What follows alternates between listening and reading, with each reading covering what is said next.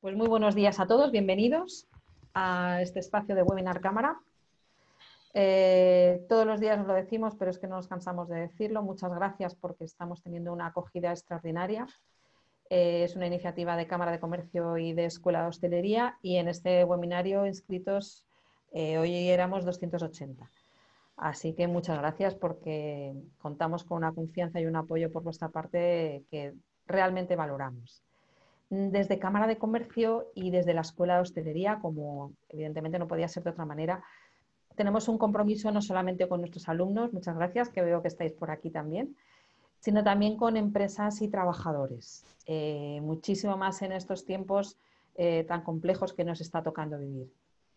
Esperamos eh, poder paliar un poquito esta situación con estas iniciativas y que, bueno, pues que podamos quitarnos un poquito de la cabeza los problemas cotidianos y, bueno, y, centrarnos un poco en otras cosas. ¿no?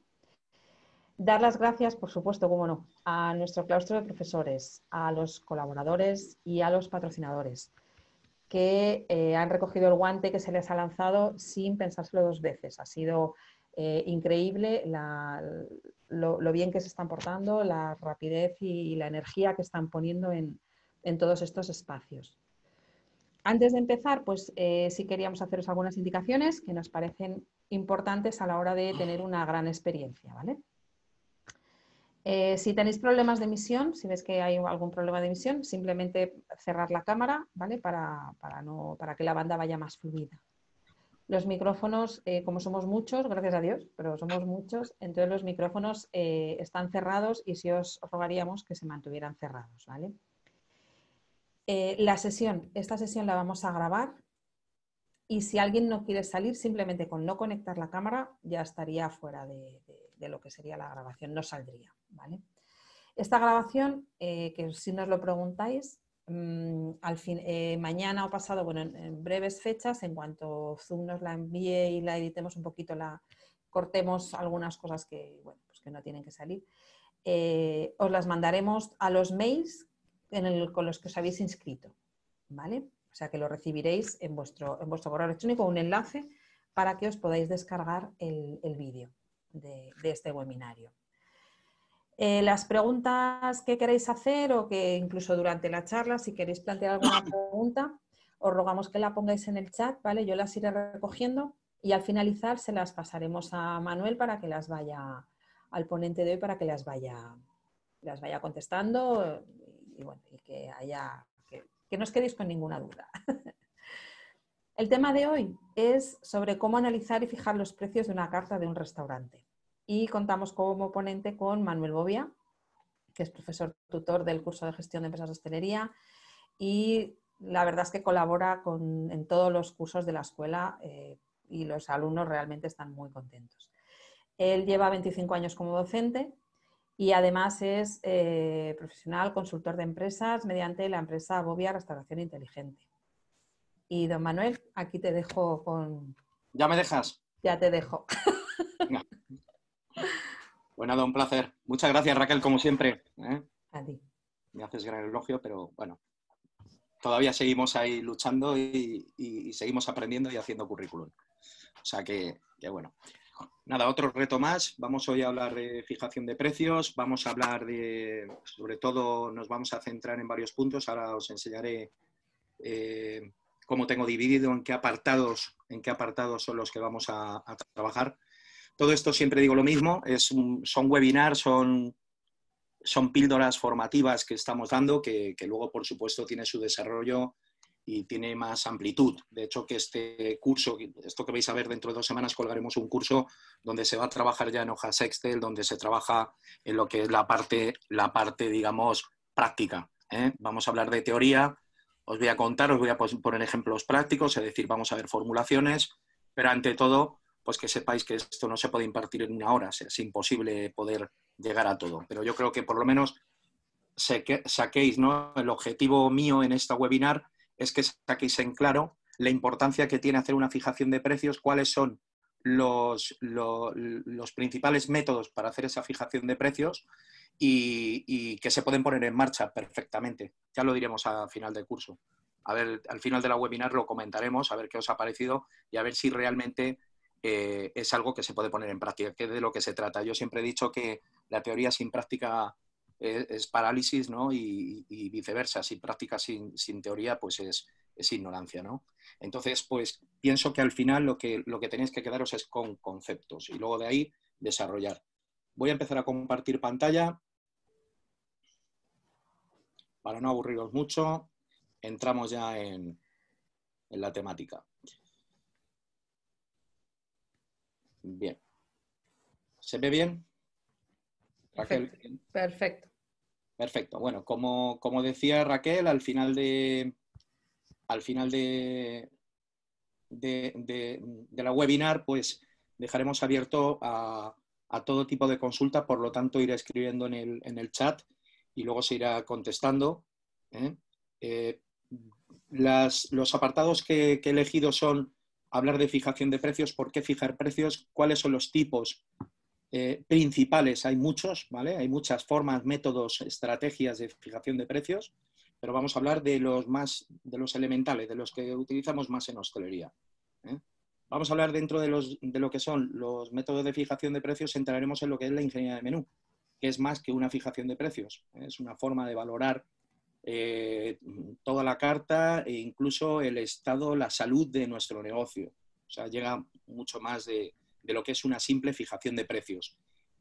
Mm, a continuación hablaremos de la herramienta que se utiliza, que es la matriz BCG, que es Boston Consulting Group, ¿vale? que es una, una matriz que se utiliza em, para muchos, em, digamos, no solamente negocios, sino esto se utiliza incluso como estrategia de mercado. es un método, es una matriz que se utiliza para saber pues, la tasa de crecimiento de los mercados, de las empresas. ¿eh? lo, veremos como una matriz enfocada al restaurante con lo que es el producto nuestro que vendemos, pero esto se lleva desde una petrolera a una, podríamos hablar eh, de, una puesta en marcha de un mercado del café en el mundo, ¿vale? O sea, que no es algo que solamente nos ha llegado a la hostelería gracias a Dios y podemos manejarla y veréis que es muy práctica. ¿eh? Y luego, por último, otro de los métodos de fijación de precios más importantes que hay, que son los principios de OMS.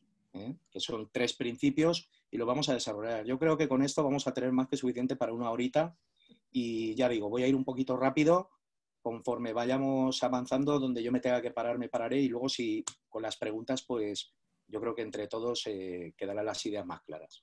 ¿eh? Bueno, para empezar, pues hablando de fijación de precios, tipo de fijación de precios, ¿no? Yo siempre hago la misma pregunta, ¿por qué es importante fijar un precio? en la restauración tradicional siempre hay una tendencia a que, bueno, eh, la fijación de precios yo creo que va un poco, depende hoy por dónde sopla el viento o por dónde va la marea, ¿de acuerdo? O me asomo a la ventana, veo cómo lo hace el vecino de enfrente, que es una forma de fijar precios, luego lo veremos. Eh, así es como nosotros hacemos los precios, ¿no? No hay realmente un parámetro que sigamos y que, y que realmente lo tomemos como, como ejemplo, ¿eh? sino que, bueno, pues es normal, si no sabemos las fórmulas que hay que aplicar para hacer una fijación de precios, pues es complicadísimo. Complicadísimo, eh, pues, pues poner un, precio. Nosotros valoramos a veces las mercancías, vemos eh, cuánto me ha costado la carne y sobre eso, bueno, pues le aplicamos márgenes, ¿no? Entonces, bueno, vamos a, vamos a hablar de todo esto. Eh, ¿Por qué fijamos precios? Principalmente, primero, para saber qué tenemos que cobrar. Esto es uno de los, de, de los puntos más importantes.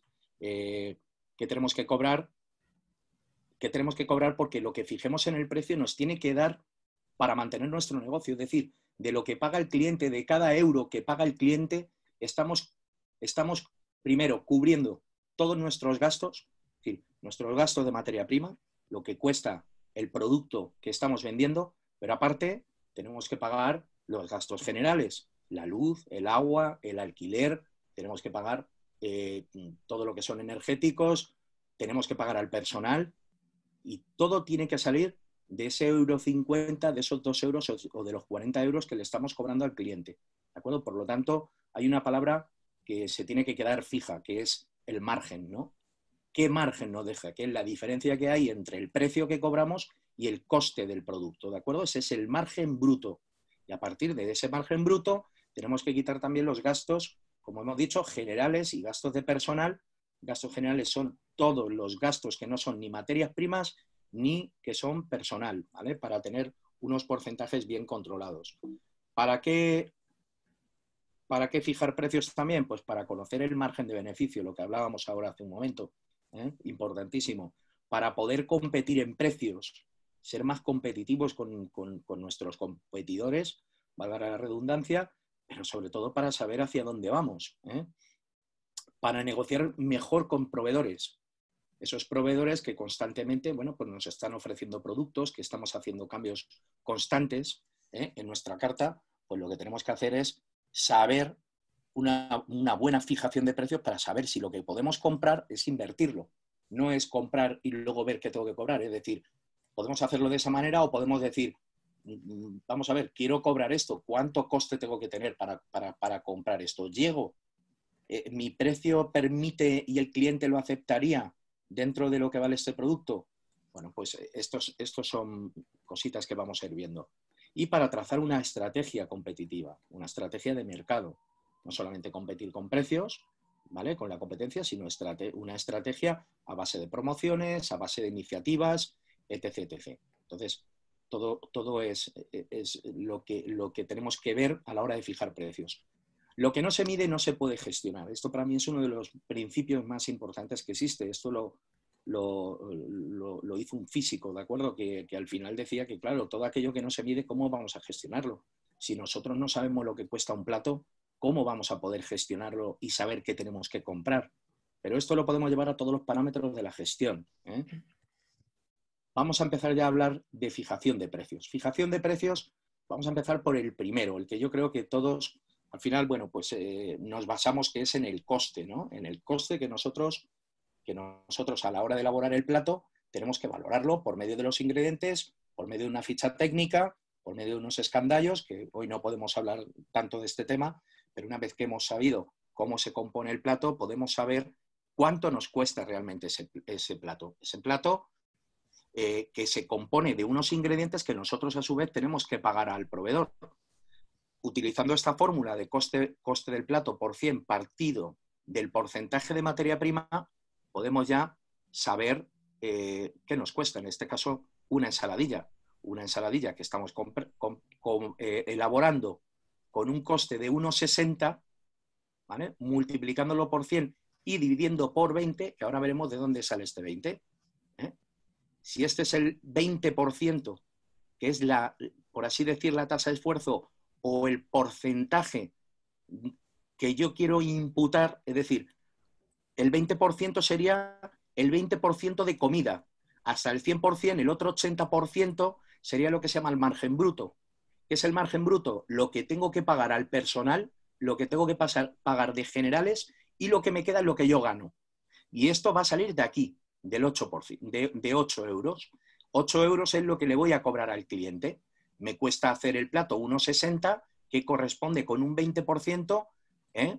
pagando a 8 otra forma de hacerlo es dividir 1,60, que es el coste, dividirlo entre el precio que yo voy a cobrar. Pero aquí lo que se trata es de hacerlo de manera que yo sepa que eh, elaborando un plato de 1,60 yo tengo que cobrar 8 euros para estar en un 20% de materia prima.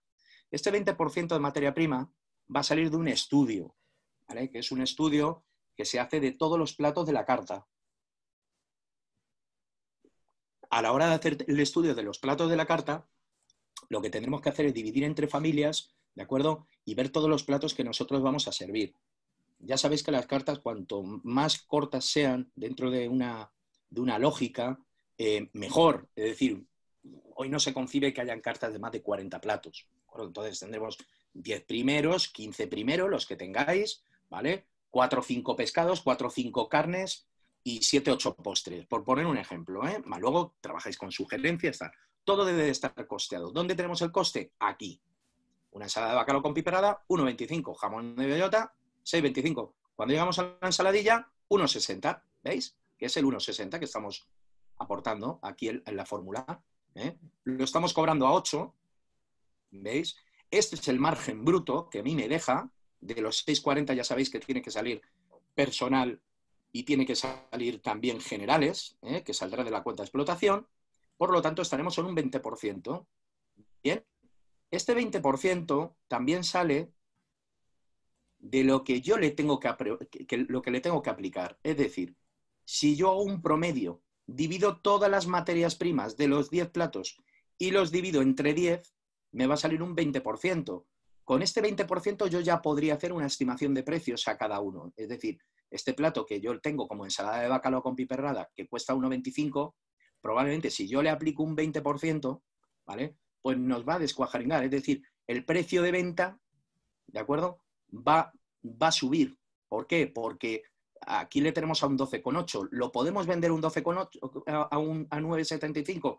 Sí, nos baja mucho. Es un plato de bajo coste con un precio de venta muy bien imputado, porque el cliente estaría dispuesto a pagarlo, ¿vale? Pero si tuviéramos que poner el 20%, aquí podríamos hacer todos los precios estimados, es decir, precio por precio, ¿de acuerdo? Esto ya digo que en el curso todo esto lo desarrollaremos. Eh, que sabemos que el 1,60 sale de la materia prima y el 8 sale de... Como luego vais a tener la presentación, pues será una manera de que no os olvidéis que lo podéis poner en práctica. ¿eh? Vamos a hablar ahora de otro, de otro método de fijación de precio, que es mediante un coeficiente multiplicador, que es similar a lo que hemos hecho. ¿eh? Lo único que es dividir el 100, ¿vale? 100, que son el 100% de las unidades, ¿de acuerdo? Dividido entre el porcentaje de materia prima. Eso nos va a dar un coeficiente y lo vamos a multiplicar por el coste del plato. Es decir, hemos invertido la fórmula. De esta manera, el PVP ¿De acuerdo? Si queremos trabajar este plato, que ahora lo veremos a continuación, a un 40%, sería 100 dividido entre un 40% y nos saldría el coeficiente 2,5. 2,5 significa que todos los platos que trabajemos en un 40%, que pueden ser solomillos, cordero, podemos hablar de una serie de platos, de segundo plato normalmente, ¿eh? pues vamos a trabajar con un coeficiente 2,5, que luego lo multiplicaríamos al coste. Ahora lo veremos. Esto sería la tabla de materias primas, ¿eh?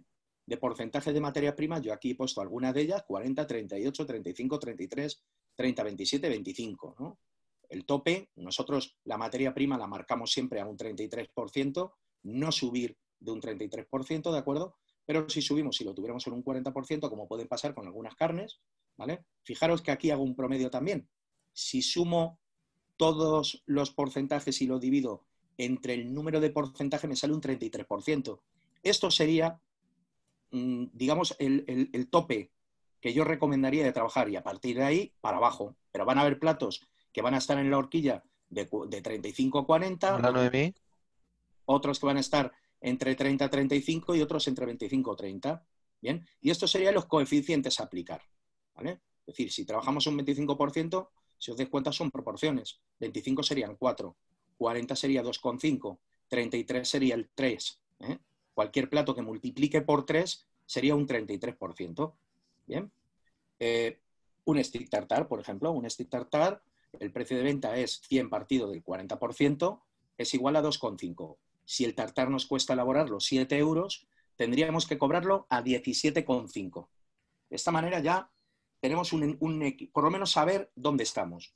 Que cuando hagáis una fórmula, que tengáis el plato, lo primero hay que hacer el escandallo, hay que hacer la ficha técnica y una vez que hemos hecho la ficha técnica del plato, ya es meternos a hacer la fijación de precio y ahora veremos, una vez que hemos obtenido el precio, otras formas de hallar el precio. aquí tenéis el coeficiente. ¿Qué es lo que tenemos que hacer una vez que hemos hecho los cálculos? Llevarnos a la fijación de precios sobre demanda, es decir, lo que el cliente está dispuesto a pagar por un plato, por un producto en este caso. ¿Cómo se halla? Bueno, pues mediante el estudio y la encuesta. El cliente no lo va a decir. Esto es ley de oferta y demanda. Sube la oferta, baja la demanda, sube la demanda, baja la oferta. Depende cómo esté. Lo más caro, si hay poco, la gente lo paga. Si hay mucho, la gente no lo paga.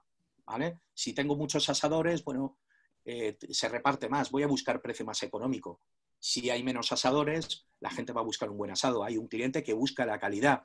Por lo tanto, aquí es donde tendremos que ir viendo, ¿no? Mediante el estudio y encuestas, mediante la opinión en redes, que hoy por hoy es una gran herramienta, ¿eh? el saber qué es lo que habla la gente, es, un, arma de doble filo para muchas empresas, pero desde luego la información que muchas veces obtenemos es grandiosa.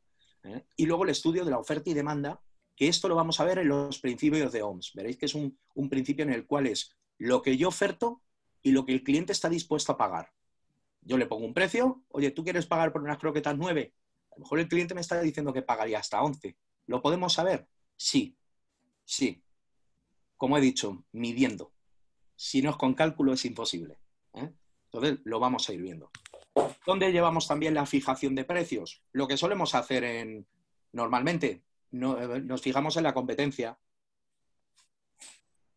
Entonces, claro, la competencia, nosotros no podemos empezar a calcular aquí. Bueno, este es un estudio breve, ¿vale? En el cual, bueno, pues hacemos de los cinco locales que a mí me pueden hacer la competencia, pues hago un análisis por distancia, por tipo de cocina, por tipo de servicio, la opinión del cliente y hago un posicionamiento, quién va para arriba, quién va para abajo y quién está ahí. Es una forma, un estudio muy rapidito que lo podéis hacer todos de lo que tenemos a nuestro alrededor. Y lo más importante, el estudio de la competencia por precios. Es decir, cada local, primero, ¿en qué mediatique? Ya hoy por hoy sabemos toda la información porque todo se cuelga. Si no echamos una foto a la carta, no la llevamos y hacemos un estudio de sus platos. ¿Vale? Es muy sencillo y esto, aparte, es muy bonito porque juegas un poco a ser James Bond, ¿no? A meterte que nadie te conozca, Un poco de gente de la CIA. Entonces, bueno, pues tiene su morbo también. O directamente le dices, oye, mira, que soy fulanito y, quiero saber a qué precios estáis trabajando. Que a mí me digan a qué precios están trabajando cada familia o los postres, sí hace que yo pueda tener un posicionamiento, ¿de acuerdo? Pero cuidado, no sabemos cómo compran. Por eso os digo que el estudio de la competencia tiene que venir después, cuando nosotros ya sabemos a cuánto compramos la, la, cerveza. Si yo sé lo que me vale un litro de cerveza, sé cuánto tengo que cobrar la caña. Si alguien está cobrando a 1,50 o a 1,30 la caña, bueno, habrá que ver cómo está comprando, qué tipo de cerveza tiene. Aquí podríamos ponerlo también, ¿no? Ver qué marca trabajan, la cerveza, en el café, eh, donde, donde, donde queramos, ¿no? En cualquier tipo de producto. Yo creo que hasta aquí estos serían fijaciones. Luego, por ejemplo, forma de fijar precios, pues subir mucho los precios en competencia para hacer una, una decremada, ¿no? ir quitando aquellos, aquellos, aquellos clientes que no nos interesa, irnos a, a, pues como hacen muchos restaurantes de, alto standing, ¿no? Meten precios muy altos creando poca plaza, ¿vale? Un sublimotion, por ejemplo. Bueno, pues son formas también de poner precios, ¿no? Jugar mucho con descuentos, eh, ya digo, podríamos estar hablando clases y clases de, estudios de precio, pero con estos yo creo que son los principales. Eh, por, concluir, primero, basado en el coste directo, lo que se llama el food cost. Segundo, basado en el coeficiente de multiplicador. Tercero, basado en, lo que está dispuesto el cliente a pagar. acuerdo? Y cuarto, eh, fijación de precios basados en la competencia. Con eso vamos, si hacemos este estudio, os aseguro que vamos a tener un conocimiento y sabemos dónde podemos estar fijando precios ¿eh? y en dónde está nuestro ticket medio, que es lo más importante saber. Ya pasando al, quinto, al quinto sistema o método de, de, fijación de precios, entramos en la ingeniería de menús. ¿Qué es la ingeniería de menús? En primer lugar, ¿no? La ingeniería de menú es un método de fijación de precios y de estudio de la oferta gastronómica, pero que va más allá de nuestros cálculos. Es decir, cuando nosotros calculamos, nosotros estamos haciendo, estamos haciendo, bueno, pues sí, una forma de saber económicamente dónde está nuestro posicionamiento de los platos. Pero es que los posicionamientos de los platos, digamos que toman vida en ese momento. Cada plato le pones cara. ¿Por qué? Porque hay una sistemática, hay una forma de funcionamiento.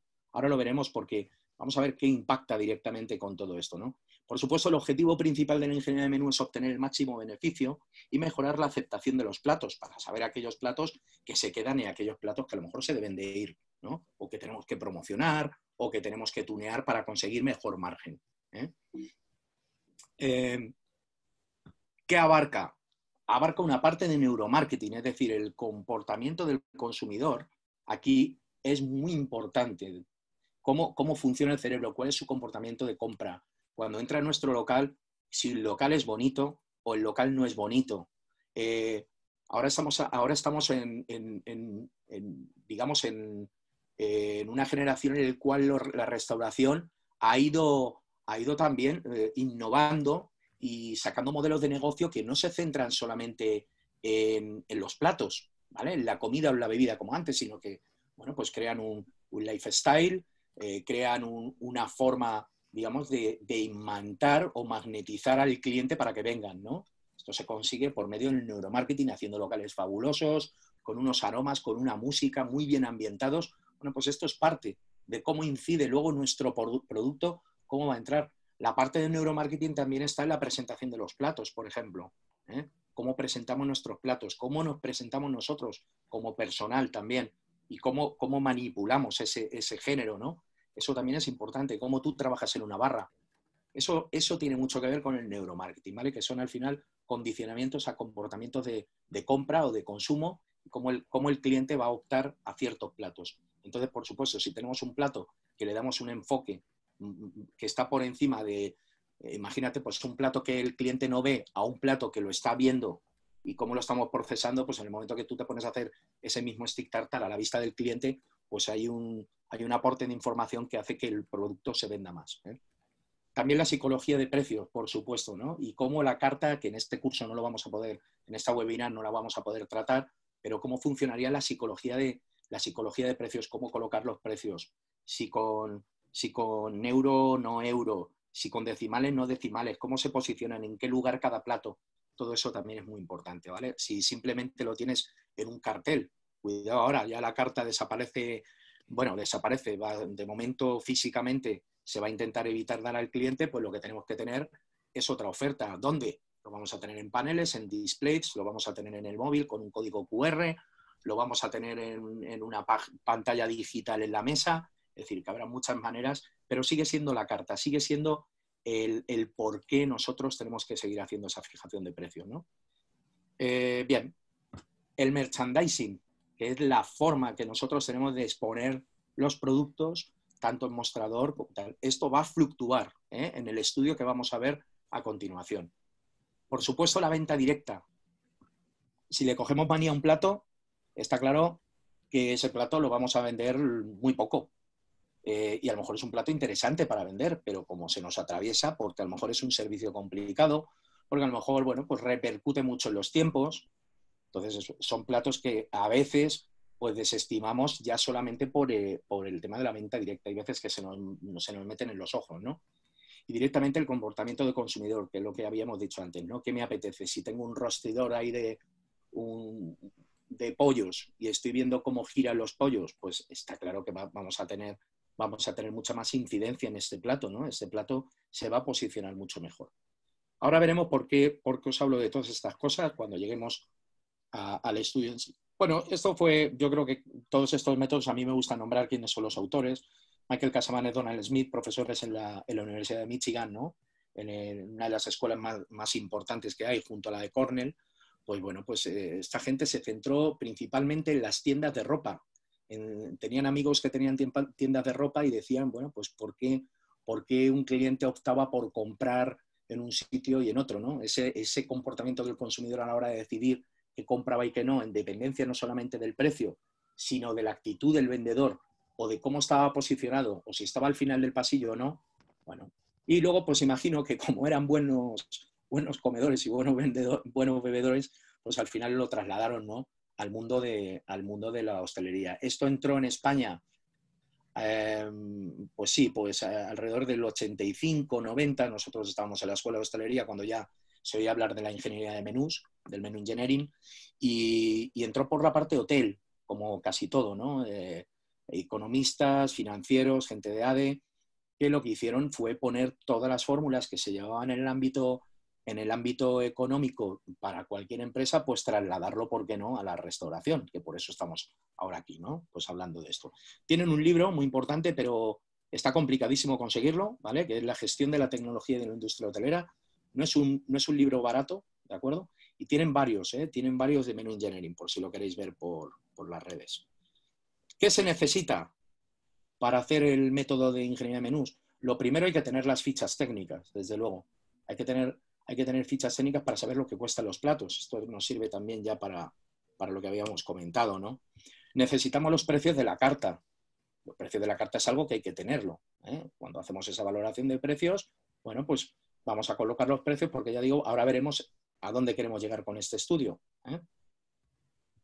Y vamos a también contemplar las ventas de los platos mediante el histórico de ventas, que esto es saber los totales. Es decir, este es un método de precios, eh, o sea, es un método de fijación de precios que no se hace antes, se hace después. Es decir, cuando yo ya estoy funcionando en mi restaurante, cuando hemos terminado el primer mes, segundo mes, tercer mes, semestre, ¿eh? normalmente esto hay que hacerlo mínimo para que merezca la pena por semestre, Cuando hemos terminado mm, es cuando vemos qué hemos vendido. ¿Por qué? Porque nosotros conocemos los márgenes de nuestros platos. Sabemos a lo que cobramos, sabemos cómo hemos elaborado, por lo tanto tenemos el margen. Y lo único que tenemos que ver es qué platos se venden más. ¿Se venden más los rentables o los no rentables? Eh, esto es lo que se llama la popularidad de los platos. Ahora lo veremos. Procedimientos para el éxito. Lo que yo llamo procedimientos para el éxito, ¿eh? aumentar el número de platos que requieran poca elaboración. Esto es importantísimo.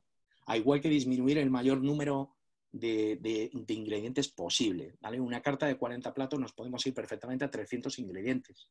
Os lo digo porque es así, sin entrar en caprichos de bebidas, y, pero fácil, ¿eh? Entonces tenemos que ir intentando acoplar ingredientes que nos valgan para 3, 4 platos, y eso está muy bien. Si yo solamente utilizo aguacate para un plato, bueno, pues, pues es así.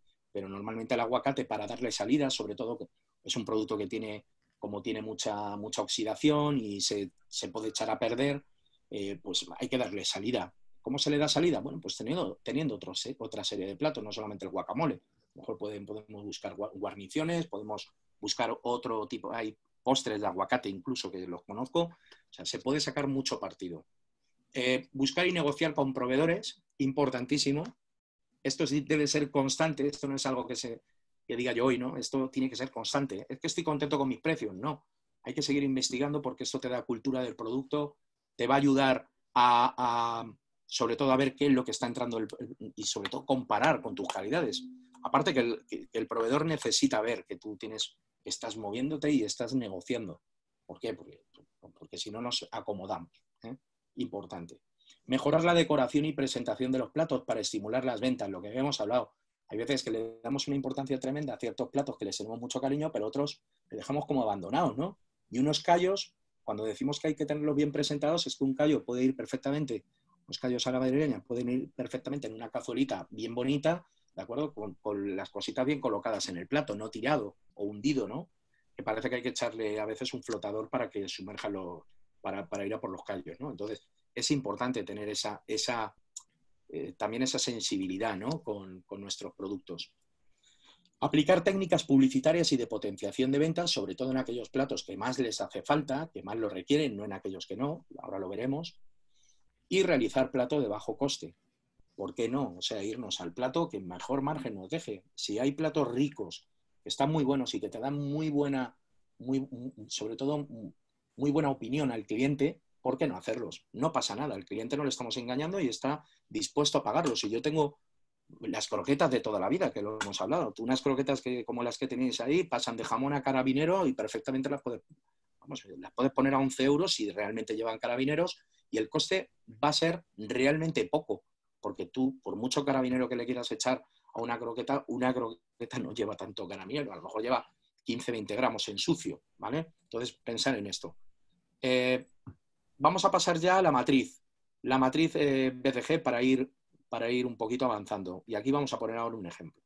BCG, que viene de la Boston Consulting Group, como he dicho, es una matriz que se basa en dos parámetros principales. Uno que es la parte de margen, que aquí es rentabilidad, y la parte de ventas, que es el índice de popularidad, es decir, el que está de moda. A más popularidad, mejor. A mayor margen, mejor a menor venta o menor popularidad, peor, y a menor margen, peor. ¿eh? Entonces vamos a ver los cuatro, los cuatro, las cuatro posibilidades que encontramos.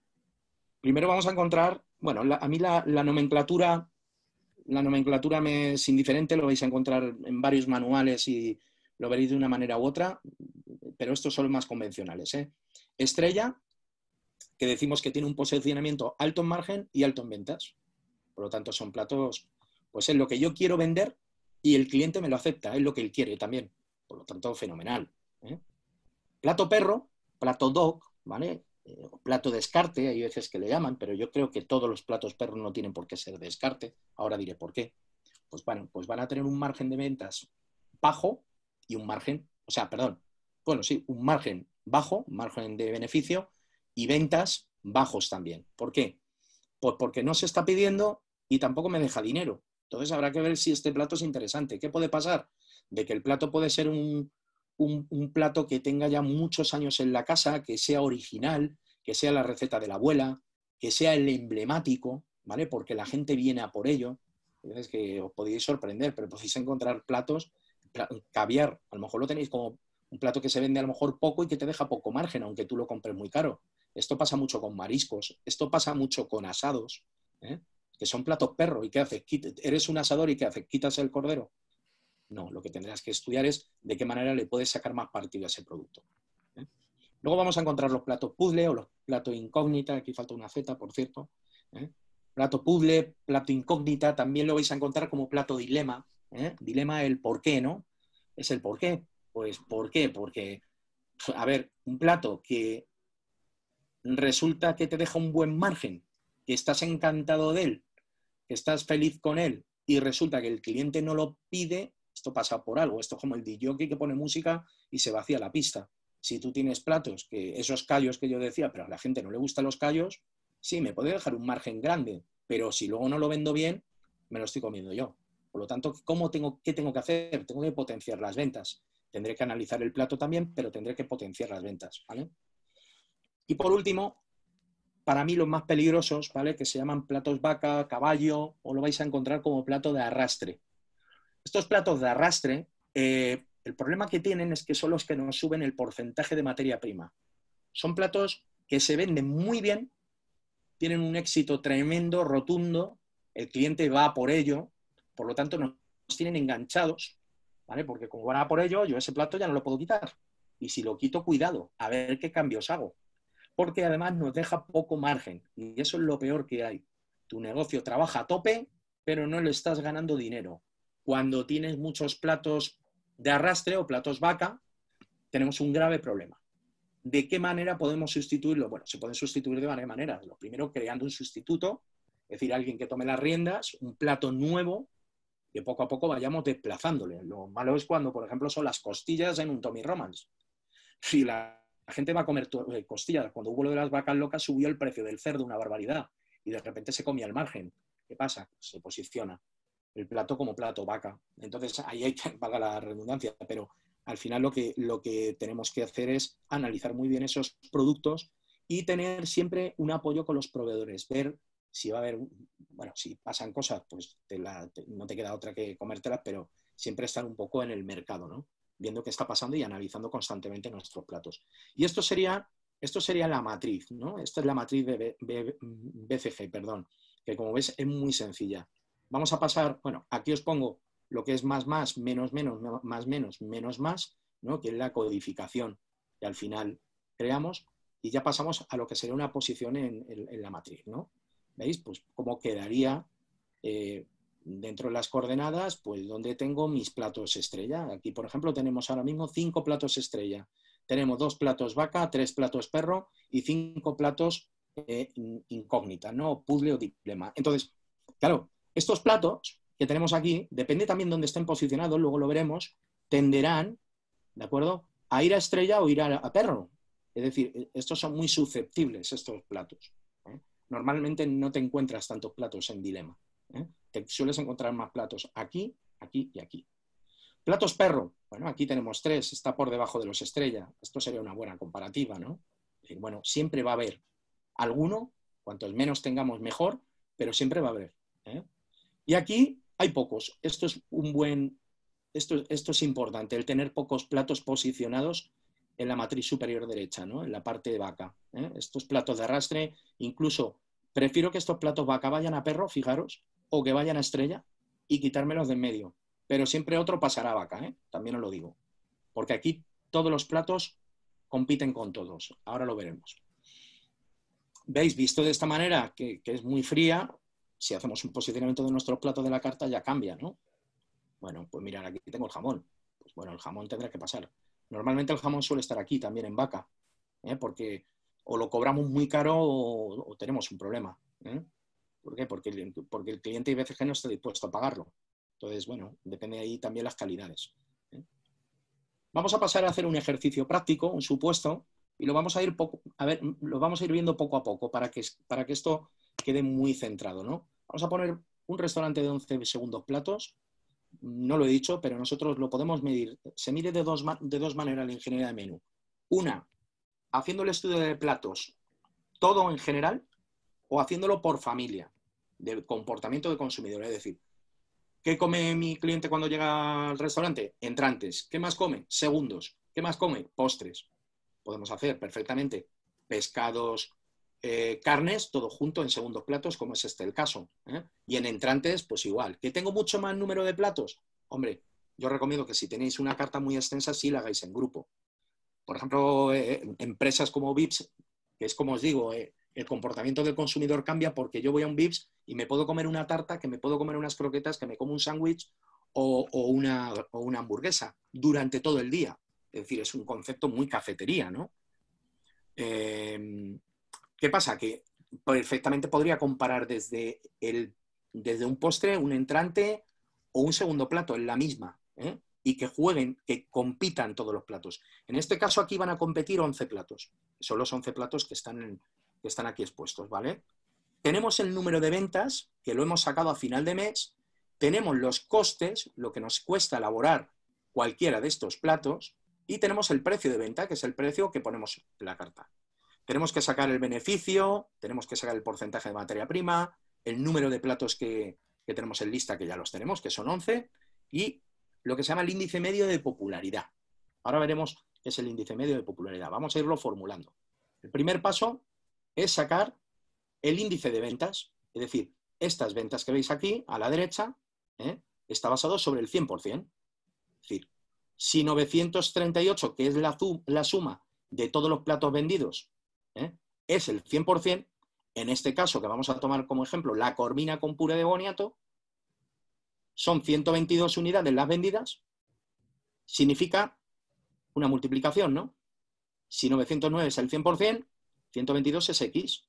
100% por 122 partido en 939 o 939 dividido entre 122 multiplicado por 100, como queráis. ¿Vale? Aquí tenéis la fórmula. Luego os voy a dejar todas estas fórmulas. Entonces, de esta manera ya sabemos cuál es el índice, ¿vale? Índice de ventas que sería el índice de popularidad de cada plato, es decir, lo que se vende cada plato, si está de moda o no está de moda. ¿eh? Aquí ya es el cliente el que decide. Por otro lado, veréis que hay muchas columnas, pero luego son muy sencillitas. Beneficio por unidad. El beneficio por unidad, este 14,97 sale de la resta de 21, que es el precio menos el coste. 21 menos 6,03 igual a 14,97 no tiene mayor historia. El total de costes también lo podemos sacar como multiplicando el número de platos que hemos vendido de Corvina, multiplicado por lo que nos cuesta la Corvina, por 6,03. De esta manera sabemos que el dinero que yo empleo al final del mes, porque esto es mensual, ¿eh? estamos empleando 735,66 euros en la compra de la Corvina. ¿eh? el porcentaje de costes no deja de ser nada más que el coste de materia prima dividido entre el precio multiplicado por 100. Aquí tenéis. 6,03 dividido entre 21 multiplicado por 100 es igual al 28%. Como dije antes, si mi materia prima está en un 33% o está en un 35%, lo que tendremos que ir viendo es cada plato, cómo, cómo lo comparamos ¿no? con, con, el resto de la carta. ¿eh? El total de ventas.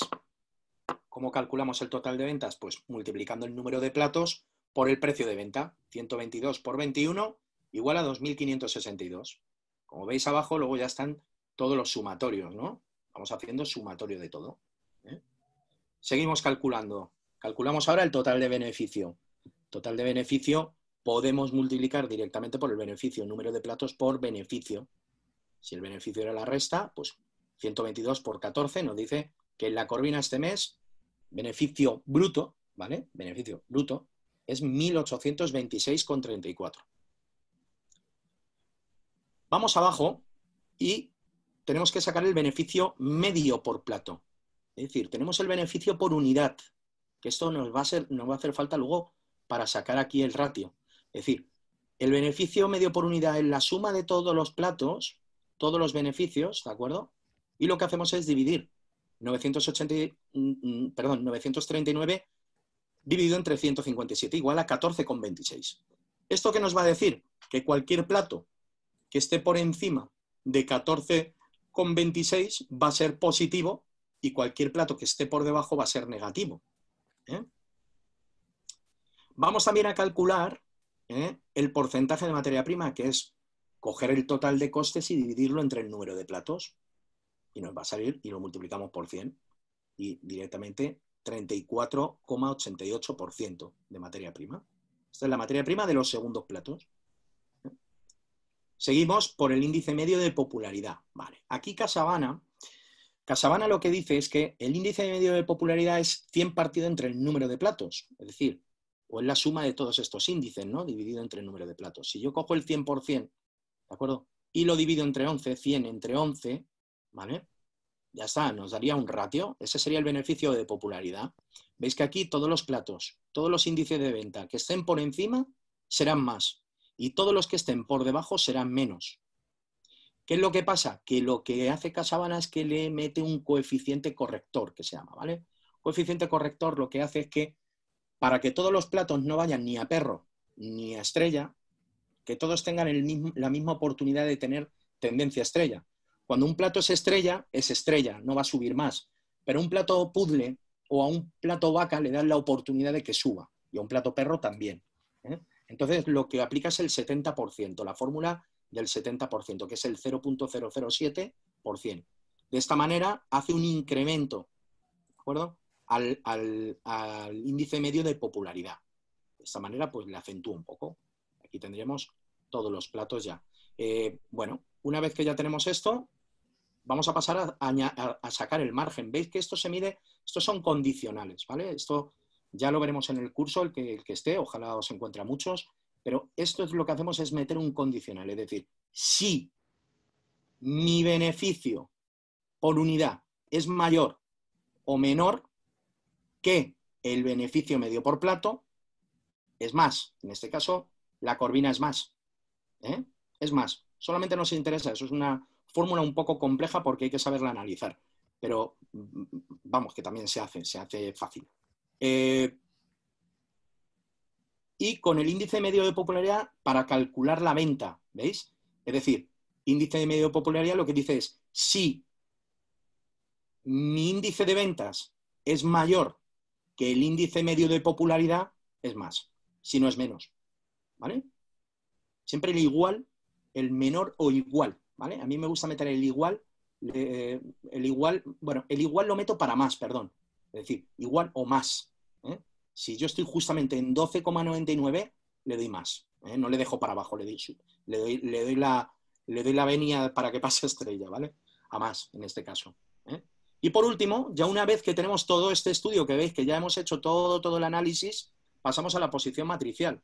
La posición matricial lo que nos va a decir es si el plato, veis que aquí os he puesto un cuadradito, si el plato es más, más, menos, más, menos, más, más, más, más, más. En este caso, la corvina es más, más, es estrella.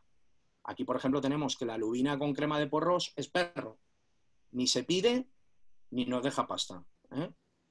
Mirar, uno, dos, tres, cuatro, hay cinco platos estrella, hay dos platos perro, que está bastante bien, tres platos vaca, esto a mí me desmoraliza un poco, habría que ver por, por qué, vamos a ver qué platos son.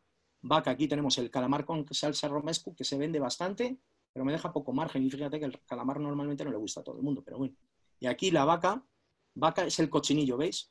Fíjate, el cochinillo, yo que tengo familia de asadores, cochinillo, es un plato de arrastre, ¿ves? Me deja poco margen.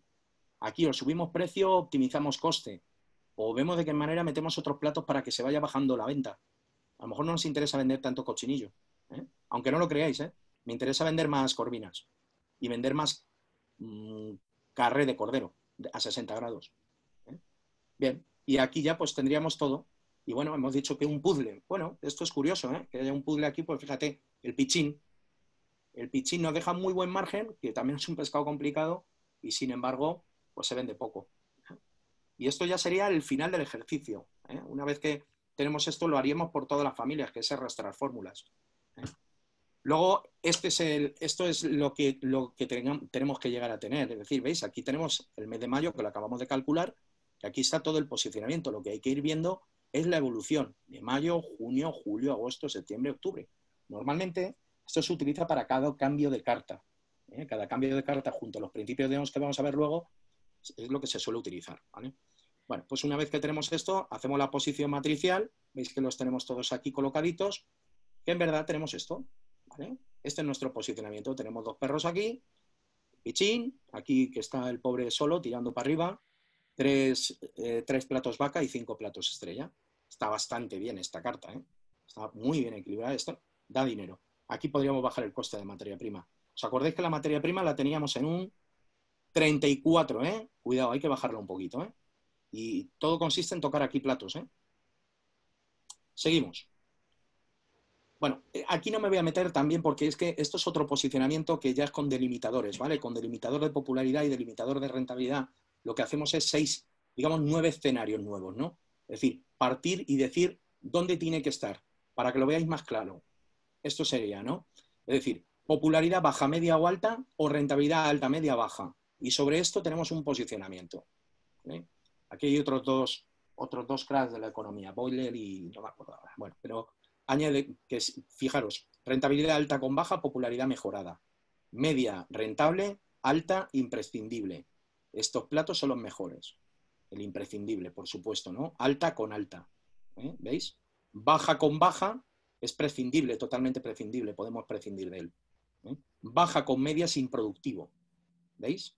Alta con media es rentable. Esto sería todo el cuadrante. Lo que no puedo explicar todo ahora porque, porque sería una barbaridad y nos iríamos a, muchas horas de clase.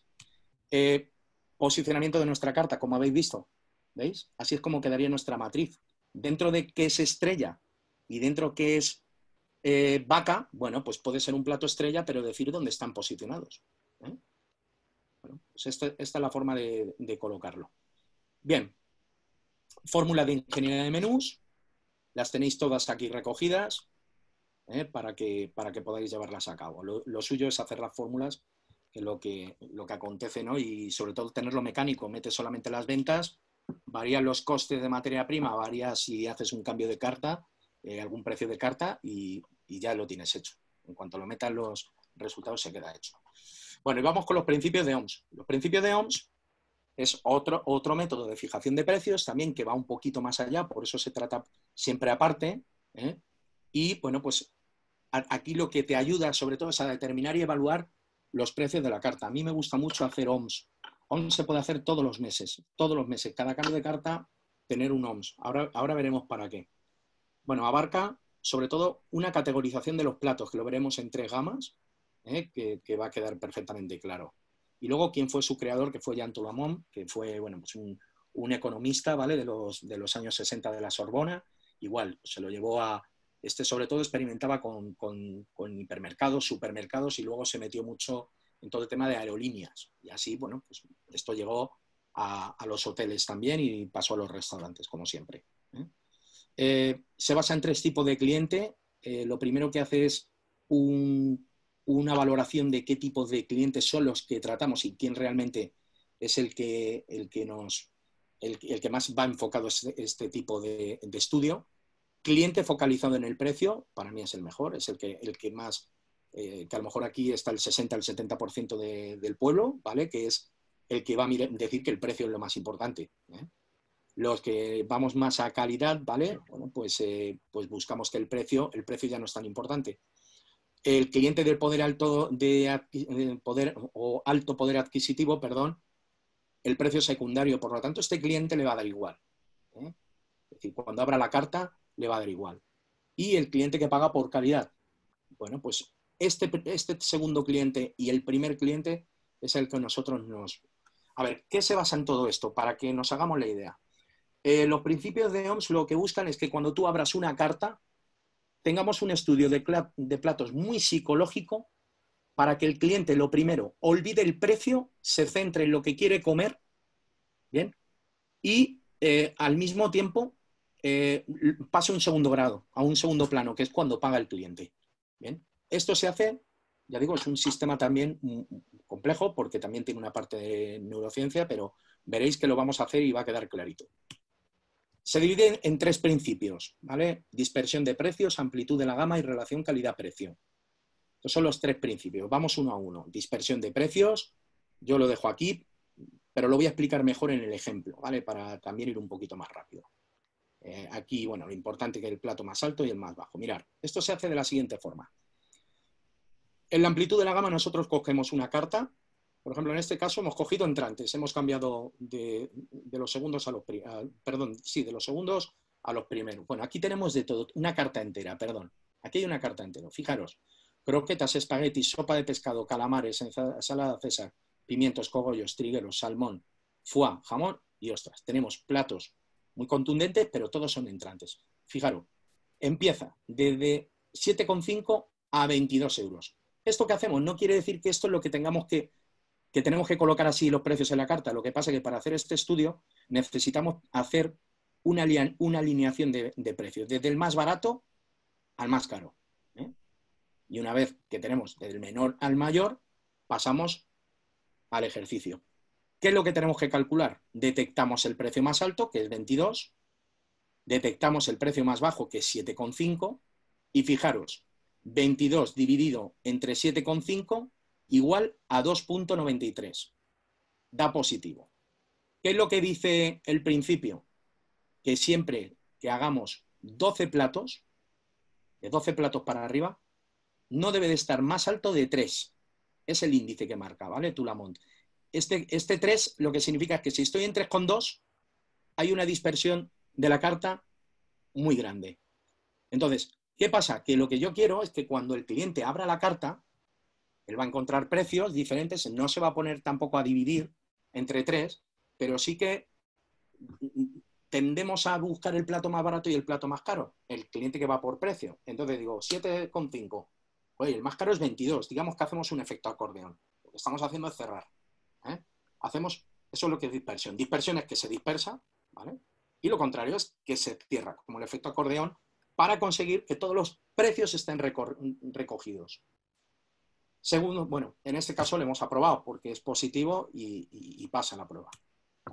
Amplitud de la gama, exactamente igual, hablamos de tres gamas. Vamos a ver qué son las tres gamas. Lo primero que tengo que hacer es, una vez que tengo colocado los, los platos, los precios de menor a mayor, igual hacemos el mismo proceso. Pero aquí es precio más alto menos precio más bajo dividido entre tres porque son tres gamas lo que yo quiero conseguir. Por lo tanto, digo, ratio de intervalo 22 menos 7,5 dividido entre 3, igual a 4,83. Este es el intervalo. ¿Qué, ¿Qué, hace el intervalo? Muy sencillo. 4,83. Para irnos al ratio de gama baja, al precio más bajo, le sumamos el intervalo. Es decir, precio más bajo, 7,85, eh, perdón, 7,50 ¿Dónde corta? 7,50 más 4,83 corta en 12,33. ¿Ves? Aquí es donde corta, en 7. O sea, perdón, en 12,83. Entre el 12 y el 12,8. Ahí es donde está el primer corte.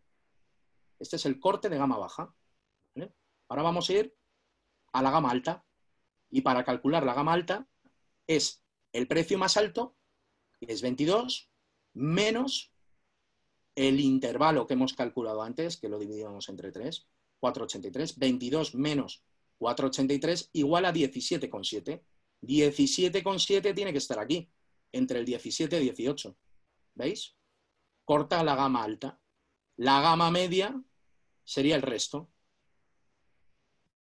Bien, esta es la gama media. ¿Qué es lo que dice Jean Tolamont? que la gama baja más la gama alta, es decir, el número de platos que tenemos aquí, 3 más 3, debe de ser igual a la gama media. Gama baja más gama alta igual a gama media. En este caso se cumple. Tengo 3 abajo, 3 arriba, 1, 2, 3, 4, 5, 6. Esto lo que nos dicen es que está, bueno, está aprobado. Eh, lo que nos dice esto es que el cliente tiene variedad. Ahora, sobre todo en estos tiempos, es muy importante este estudio porque lo que hacéis es saber cuántos platos tengo baratos, cuántos platos tengo más subidos de precio y cuáles son el mayor espectro. Lo que tú no puedes tener es aquí seis platos bajos, dos platos altos y el resto medio. O sea, no descompenséis la carta, tener de todo, también por elaboración, por tipo de cocción, platos fríos, platos calientes, eso hay que verlo. Ese es el estudio de la carta que va en otro capítulo. Pero si después de haber hecho ese capítulo ya alineamos y conseguimos este efecto, vamos, eh, lo primero vas a tener más rapidez, la gente va a estar más tiempo eh, viendo tu carta o tu display, me da igual, ¿eh? ¿Por qué? Porque lo vas a minar y va a perder, con el otro principio lo que va a leer es lo que va a comer. ¿eh? En este caso, bueno, era muy basiquito. También aquí la descripción haría mucho, ¿no? Es importante. La descripción positiva en, en los platos incrementa un 20% de las ventas, para que os hagáis la idea. Esto está aprobado. Vale, y seguimos nos vamos ya al tercer principio que guarda relación, acordaros, con el de demanda. ¿eh? Si está dispuesta la gente a pagar más por, el, por lo que está consumiendo, ¿no? Y bien, aquí vamos a ampliar campos, vamos a ampliar columnas. Fijaros, hasta aquí habíamos hablado solamente de precios. Aquí no hay costes, ¿eh? Aquí, como veis, no hay costes. Solamente estamos hablando de precios. ¿Qué pasa? Que tenemos que tirar de las ventas. ¿Veis? Tenemos que tirar las ventas. Las ventas salen del TPV. He vendido 63 croquetas, 25 espaguetis y 34 sopas y así todo. ¿eh? ¿Qué vamos a hacer? Sacar la cifra de negocio. La cifra de negocio es la facturación de cada plato. ¿Cómo se calcula? Multiplicando 7,5, que es el precio de las croquetas, por 63 raciones, igual a 472. ¿Veis? Ya tengo la cifra de negocio de las croquetas. Y así lo tengo que hacer con todo. Aquí, fue 18 por 19 euros que... Perdona, 18 que me vale el FUA y he vendido 19 unidades, 342 euros, ¿vale? Estos son euros. Una vez que hemos hecho esto, nos vamos a hacer todo el sumatorio de la cifra de negocio. Sumamos la cifra de negocio y vemos que da 5.427. Bien. Vamos a sumar también las ventas. Vamos a sumar 63 más 25 más 34, 392. Ya tenemos el sumatorio de las ventas, total de ventas. Y vamos a hacer una media ponderada en los precios. Esto es lo que yo ofrezco. Es decir, voy a coger todos los precios, los sumo y los divido entre el número de platos que hay. Es decir, lo que dé entre 12. Y en este caso nos da 14,57. Esto sería el primer paso para llegar al tercer principio de OMS. Bien, vamos a sacar el precio solicitado, es decir, el precio que está pagando realmente la gente. ¿Eh? Este es el precio que yo le estoy ofreciendo, eh, el, ofrecido, y este es el solicitado. Si yo divido 5.427 entre 392, nos da 13,82 o 13,84. Este es el precio que está pagando la gente, nuestro cliente. Precio medio ofertado, ¿Veis? Es 14,57, más alto. El cliente está pagando menos. Vamos a ver qué quiere decir eso. Ratio de relación precio medio solicitado, precio medio ofertado. Es dividir el precio medio solicitado dividido entre el ofertado. Y nos va a dar un, un coeficiente o un índice, que es el 0.94. ¿Qué quiere decir el 0.94? Pues muy sencillo que si estás entre 0,9 y 1, los precios son adecuados. Si es inferior a 0,9, los precios serían muy altos. Por lo tanto, el cliente se está quejando, en verdad, ¿eh? Porque está diciendo que está, buscando lo barato. ¿eh? Y si es superior a 1, que los precios propuestos son muy bajos, que están dispuestos a pagar más.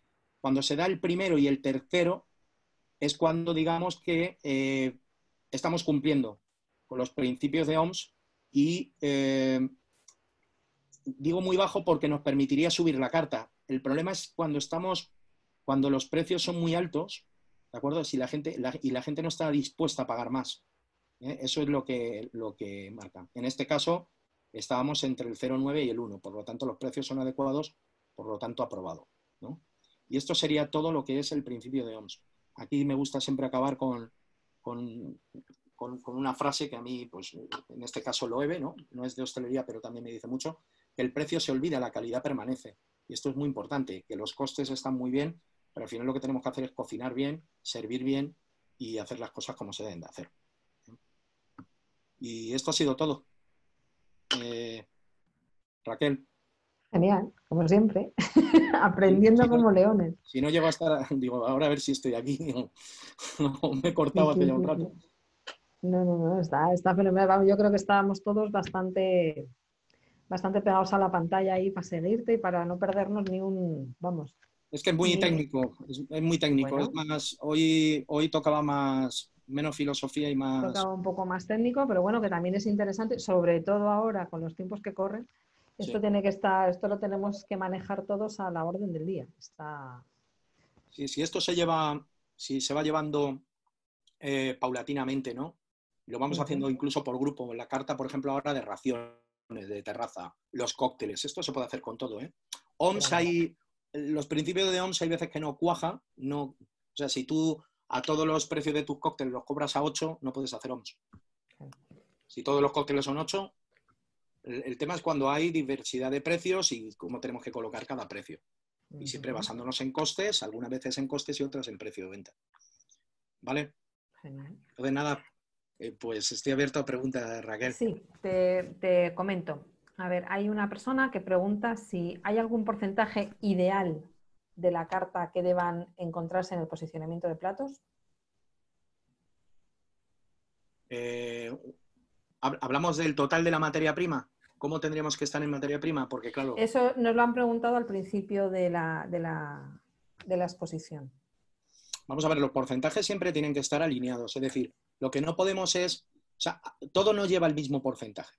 Nosotros nos tenemos que basar en porcentajes medios. Es decir, mi carta total, con todo lo que yo vendo, tanto de comida como de bebida, tenemos que tener un porcentaje. Imagínate que nuestro porcentaje es de un 33,8. Vamos un poquito pasado, pero resulta que estamos funcionando muy bien, trabajamos de, maravilla y nos, nos, está dando ese porcentaje. Pues de miedo, está bien. Tenemos que estar ahí, aunque estemos un poco altos, poquito más alto, pero estamos bien. Pero luego resulta que cuando empiezo a analizar, el porcentaje de bebida lo tengo alto, imagínate. Entonces me tengo que ir a intentar bajar el porcentaje de bebida. O bien porque estoy comprando más caro y tengo que buscar proveedores que me ofrezcan o negociar con proveedores, me lo bajen. Otra, ver qué es lo que estoy sirviendo con ese cóctel, por ejemplo, si puedo cambiar guarnición. Esto es lo que se hace en la ingeniería de menú, ¿no? Aquellos platos que vemos, por ejemplo, eh, los platos que no se promocionan bien, hay que darle más venta, más venta directa, eh, publicitarlos más, dejarlos colocados en la parte de la carta que más interesa que lo vean, fotos en internet, es decir, que ven, a probar nuestro, ¿no? Y cuando pasa en el vaca es diferente. En el vaca sí hay que entrar en el producto y ver realmente si la salsa está muy cara, porque lo que hay que hacer, el plato vaca es muy fácil que pase estrella. ¿Cómo? Tuneando el plato tengo una pimienta que de repente se me dispara el coste, o la guarnición que encima se la deja a todo el mundo porque estoy, viendo que llegan los platos con la guarnición entera, eh, se comen las costillas pero no se comen el puré de patata, y el puré de patata me está saliendo por un coste elevadísimo. A lo mejor no hay que poner nada o poner otra cosa, o poner unas cebollitas encurtidas, no sé, se me ocurre. Entonces, analizar cómo podemos bajar los costes de ciertos platos que nos están produciendo platos vaca o platos perro. Eso es lo principal. Y luego, eh, sobre todo, medir muy bien, o sea, irte al ingrediente base, ¿no? Cómo estamos comprando el ingrediente y qué merma nos está dejando el ingrediente. También es importantísimo. Entonces, sobre eso ya tomamos las medidas. Esto es, yo le llamo la ley del embudo, ¿no? Que tú vas, eh, cuando tú no tienes ningún control sobre esto, pues tienes una brecha que no sabes si estás perdiendo o estás ganando. Según vas concentrando, tu materia prima tiene que ir bajando. Porque tú no puedes tener la materia prima en un 46, ¿vale? Porque fíjate, cuando le metas los gastos generales y los gastos de, personal le estás ganando muy poco, luego quítale impuestos e intereses, pues te queda nada. Entonces, trabajar para nada o para quedarte igual, pues no merece la pena. Y, lo que tienes que hacer siempre es que ese porcentaje irlo bajando hasta llegue un momento que no afecte la calidad.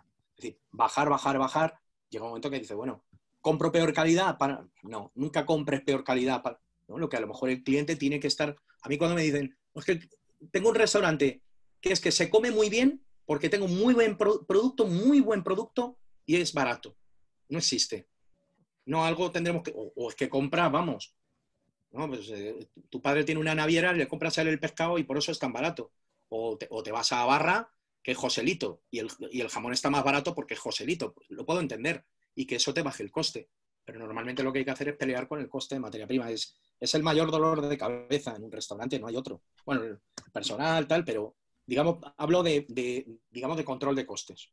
Personal al final fluctúa, se te va uno, viene otro, pero más o menos se maneja, pero en la, en la comida, sobre todo la comida en el perecedero, es muy complejo.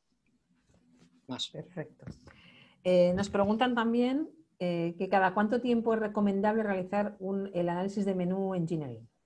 Eh, ya lo he dicho. Mm, mm, a ver, un mes no vale para nada. Un mes lo único que haces es el posicionamiento de los platos y lo que tienes que ir viendo, ¿vale? Yo esto, ya digo, como lo tengo todo informatizado, yo lo tengo cada seis meses. Cada seis meses yo meto las ventas y me hace perfectamente y me dice si el plato ha ido evolucionando a mejor o a peor. Si yo veo que el plato ha tenido una caída, porque a lo mejor imagínate que hemos cambiado el proveedor del pollo. Esto pasa o que has metido un plato muy agresivo. Es que de esto luego podemos hablar largo y tendido. Que eso es lo que, lo que invito a todos a que, a que ampliéis todo esto. ¿Por qué? Porque yo subo el precio del pollo, porque el proveedor resulta que he metido pechugas de pollo que resulta que ahora son de son de, de pienso, ¿no? De pienso natural y bueno, muy bien. Son camperos, grano, perdón, campero, que son de grano y tal, en vez de pienso, grano. Y resulta que me ha subido el kilo de, del pollo me ha subido un euro y medio. Es que eso ya fluctúa tu ingeniería. O sea, cualquier... O sea, ¿Dónde no fluctúa? ¿Dónde esto se hace permanentemente? En hoteles, donde hay una carta muy, muy igual, se puede hacer una ingeniería perfecta, y en restauración organizada. En el momento que tú le metas sugerencias, le metas tal, que por cierto, esto está trabajando, hay dos tipos de ingeniería de menú. Una, que se trabaja sobre los platos que se presentan en la carta, y otros cuando accedes a hacer un estudio con sugerencias. Porque habría que sacar otro ratio que es el, de presentación. ¿Cuántas veces se está presentado el plato en el restaurante? Un plato de carta está 365 días al año. Una sugerencia no puede luchar igual. Lo que pasa es que la venta directa es mucho más agresiva y posiciona muy bien esos platos. Pero claro, no, se echa para atrás otros. Mira, otra pregunta también. Eh, ¿Omnes es un sistema de fijación o de análisis del precio? Eh, análisis de precio más. Lo que pasa que, eh, pero luego te ayuda a fijar los precios porque cuando tú ya tienes los deberes hechos, tú te das cuenta que cuando, por ejemplo, mirar, voy un momentito otra vez a la presentación para enseñaros una cosita. Mira. Em,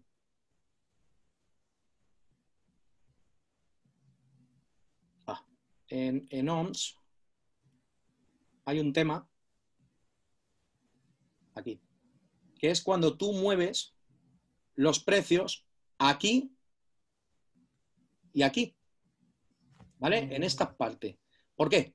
Porque que yo baje aquí 4 céntimos y se lo subo aquí, me hace que equilibre la carta. Y aquí exactamente igual. Hay veces que hay que subir el de 16, subir a 17, supone que es un cuarto pero ya es 4 más 3, 7. Ya tendríamos que tener aquí 7. ¿Os dais cuenta? Al final lo que hace es compensa. Pero sí ayuda a fijar precio, porque esto al final sí me dice dónde tengo que quitar los 50 céntimos para ponerlos en otro. Y lo que hace es, es como, es como, como, como que la orquesta suene toda igual. No le demos importancia al violín, ¿no? Vale, ¿le queremos dar una importancia al violín? Pues dásela. Incluso muchas veces en OMS lo que se hace es que se sacan instrumentos, se sacan platos. ¿Por qué? Porque hay platos que me rompen la estadística. Si yo tengo, por ejemplo, de repente un plato que me cuesta 89 euros y mi carta está compensada entre 12 y 22, por, poner un ejemplo, lo que hemos hecho ahora, ¿no? Entre 7 y 22, eh, ¿qué pasa? Que, bueno, pues eh, yo no puedo compararme con el 79, porque si es el plato de más precio, ya me ha roto la media. Tenemos que basarnos siempre en la lógica. Por eso hay veces que se puede hacer y otras que no. ¿eh? No todos los principios, tanto ingeniería de menú es más fácil, pero la ingeniería de menú y el, y el y no siempre se pueden hacer. Perfecto. Eh, mira, también preguntan que cómo se calcula el precio del coste de personal, alquiler, gastos generales como la luz, los seguros, las nóminas, en fin, todo eso. Curso, curso del día 15. Gestión, gestión de costes mediante Excel. Es que no podemos explicarlo. El coste de personal, la única manera de hacerlo, te voy a contestar por no dejarte ahí, es calculando los costes de cada uno de, mis trabajadores, sumándole los impuestos y haciendo lo que se llama la, eh, masa salarial, tanto sin impuestos como con impuestos. Y todo eso eh, sería. Y luego los gastos generales es mediante todos los recibos que nos llegan de banco. La luz, el agua, el alquiler es son gastos fijos. Los gastos fijos es mucho más sencillo que de trabajar que los gastos de materia prima, claro está. Por no dejarle pero vamos, que, en esto hemos acabado ahora un curso que ha, sido bastante exitoso y empezamos, justamente ya hay gente reclamando este curso y hablaremos de todo lo que es la cuenta de explotación.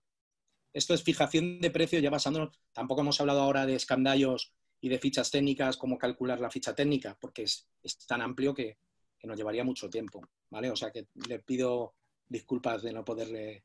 Creo que le he contestado algo, por lo menos. Sí, yo creo que sí, que algo, algo más, yo creo que has aclarado, por supuesto. Eh, mira, otra persona nos pregunta, si trabajáramos en una cocina ciega, ¿manejaríamos los mismos porcentajes de materia prima? Mm, la materia prima sí. Sí, ¿no? sí, depende con lo que tú elabores. Lo que pasa es que los precios, los precios van a fluctuar. A ver, los precios de delivery, tú tienes que. Aquí tenemos que hablar del prime cost, que es, que es el coste de elaboración del plato más la mano de obra, ¿vale? Que no lo hemos nombrado, y, por ejemplo, en delivery, todo aquello que estemos aportando, por ejemplo, todo el packaging, bolsas, empaques, todo eso hay que sumárselo. Es un gasto general, pero por supuesto hay que, hay que imputarlo para saber el margen que yo gano esa ración. Cuidado que hay gente que se está volviendo loca, y yo ya lo estoy comprobando, que mantiene precios del restaurante, ¿vale? Al precio de delivery y los márgenes luego se te, se te van. Entonces no cometéis ese error. Si encima le metéis una logística, es decir, riders de, cualquier logística, no voy a nombrar ninguna, pues fíjate, se te incrementa de un 25 a un 35% más. Por lo tanto, la rentabilidad es bajísima, trabajas para nada. Tenéis que seguir ganando dinero. El objetivo de un restaurante es ser rentable. Rentable y viable. Ese, es el, ese es el kit. Pero nos preguntan también. En una cocina ciega lo que le tienes que imputar son los costes de alquiler. Pero es parecido a lo que estamos haciendo, lo único que es imputarle el coste de alquiler. Y los ratios se pueden llevar mucho mejor, ¿eh? Eso también te digo porque te quitas, te quitas muchas variables. Es más limpio. Menos platos, también trabajan menos platos. Por norma, el delivery no trabaja toda la variedad de platos que existen. Son platos que incluso puedes trabajar con quinta gama. Muy viable. Perfecto. Mira, nos dicen, en un bar de tapas, que la carta es eh, de raciones, canapés y demás, ¿Se seguirían los mismos criterios? Cuidado. En una carta de, raciones tenéis que separar el tipo de raciones. Típico error que se comete cuando se hace OMS, los principios de OMS. Meto un canapé de 4 euros con una ración de pulpo de 22. No, podemos competir ahí. O sea, es imposible. Porque el, principio, el, principio de dispersión de precios se pierde. Tenemos que hacer dispersión de precios con gamas de platos, es decir, con familias de platos. Si yo estoy trabajando platos de segundos, de, puedo trabajar con segundos platos, puedo trabajar con primeros platos o por comportamiento del consumidor, como os decía antes. Un cliente que viene a, mi restaurante y se siente a la terraza, igual te pide una ración de bravas que te pide un entrecot, lo que hay que tener es bien valoradas las bravas. Lo que no puedes es cobrar las bravas a 4.50, ¿vale? Como si fuera y meterle un entrecot de, o sí, eso cada uno es libre, ¿eh? pero yo no lo recomiendo. Y el entrecot lo tengo a 28. O sea, ahí, ahí es muy difícil así llevar Los canapés irían por un lado, yo haría todo el estudio de canapés, platos ligeros, por así decir, luego raciones pura y dura y luego carta, pero siempre por familias. Genial. Clarito. Em, a ver, nos están preguntando también, eh, ¿qué opinas de los precios inteligentes Poner precios según la hora del día, entre semana, fin de semana. Bien, bueno, yo los precios inteligentes le llamo también al 99, al 033, no me gustan en restauración, ¿vale? Creo, que, creo que restauración, cada, cada profesión tiene un estilo. O sea, yo entiendo que cuando vas a comprar una lavadora, el 699 o en MediaMar, pues funciona muy bien, ¿vale? En un restaurante a mí no me gusta, ¿vale? Pero sí creo en las promociones. De hecho, que OMS se basa mucho en promociones. Es decir, hay un cuarto principio que no le damos importancia porque es muy sencillo, que es sacar los platos, los platos más eficaces y utilizarlos como promoción. Es decir, aquellos sobre todo que más, los que tienes que impulsar en primer lugar. Es decir, si yo tengo un plato que le tengo ahí el pobre, que, le tenemos que dar mucho brío y que se tiene que vender, ¿qué es lo que hacemos? Potenciarlo. ¿Cómo? Con la botellita de vino, por ejemplo. Y meto gambas con vino. ¿Para qué? Para subir la venta de vinos al mismo tiempo. A mí los precios inteligentes me gustan. El 2x1 funciona depende en qué restaurantes también. Al final, al final llevaros... A ver, es que esto no es nada nuevo, porque igual que hay un menú de degustación a un precio cerrado, ¿qué es un menú de degustación a precio cerrado? No deja de ser una oferta, una promoción. Una promoción en la cual vas a probar eh, todo lo... te van a agasajar, ¿no? Con todas las, con todas las bondades del chef y con todos los productos que tiene en la despensa, ¿vale? Tocando todos los palos, pero al final por un precio cerrado. Eso está muy bien. Y yo creo que el menú de degustación, esto empezó en la Nouvelle Cuisine hace ya 20 años y se sigue manteniendo. O el trabajar con menús más cortos, menús más largos.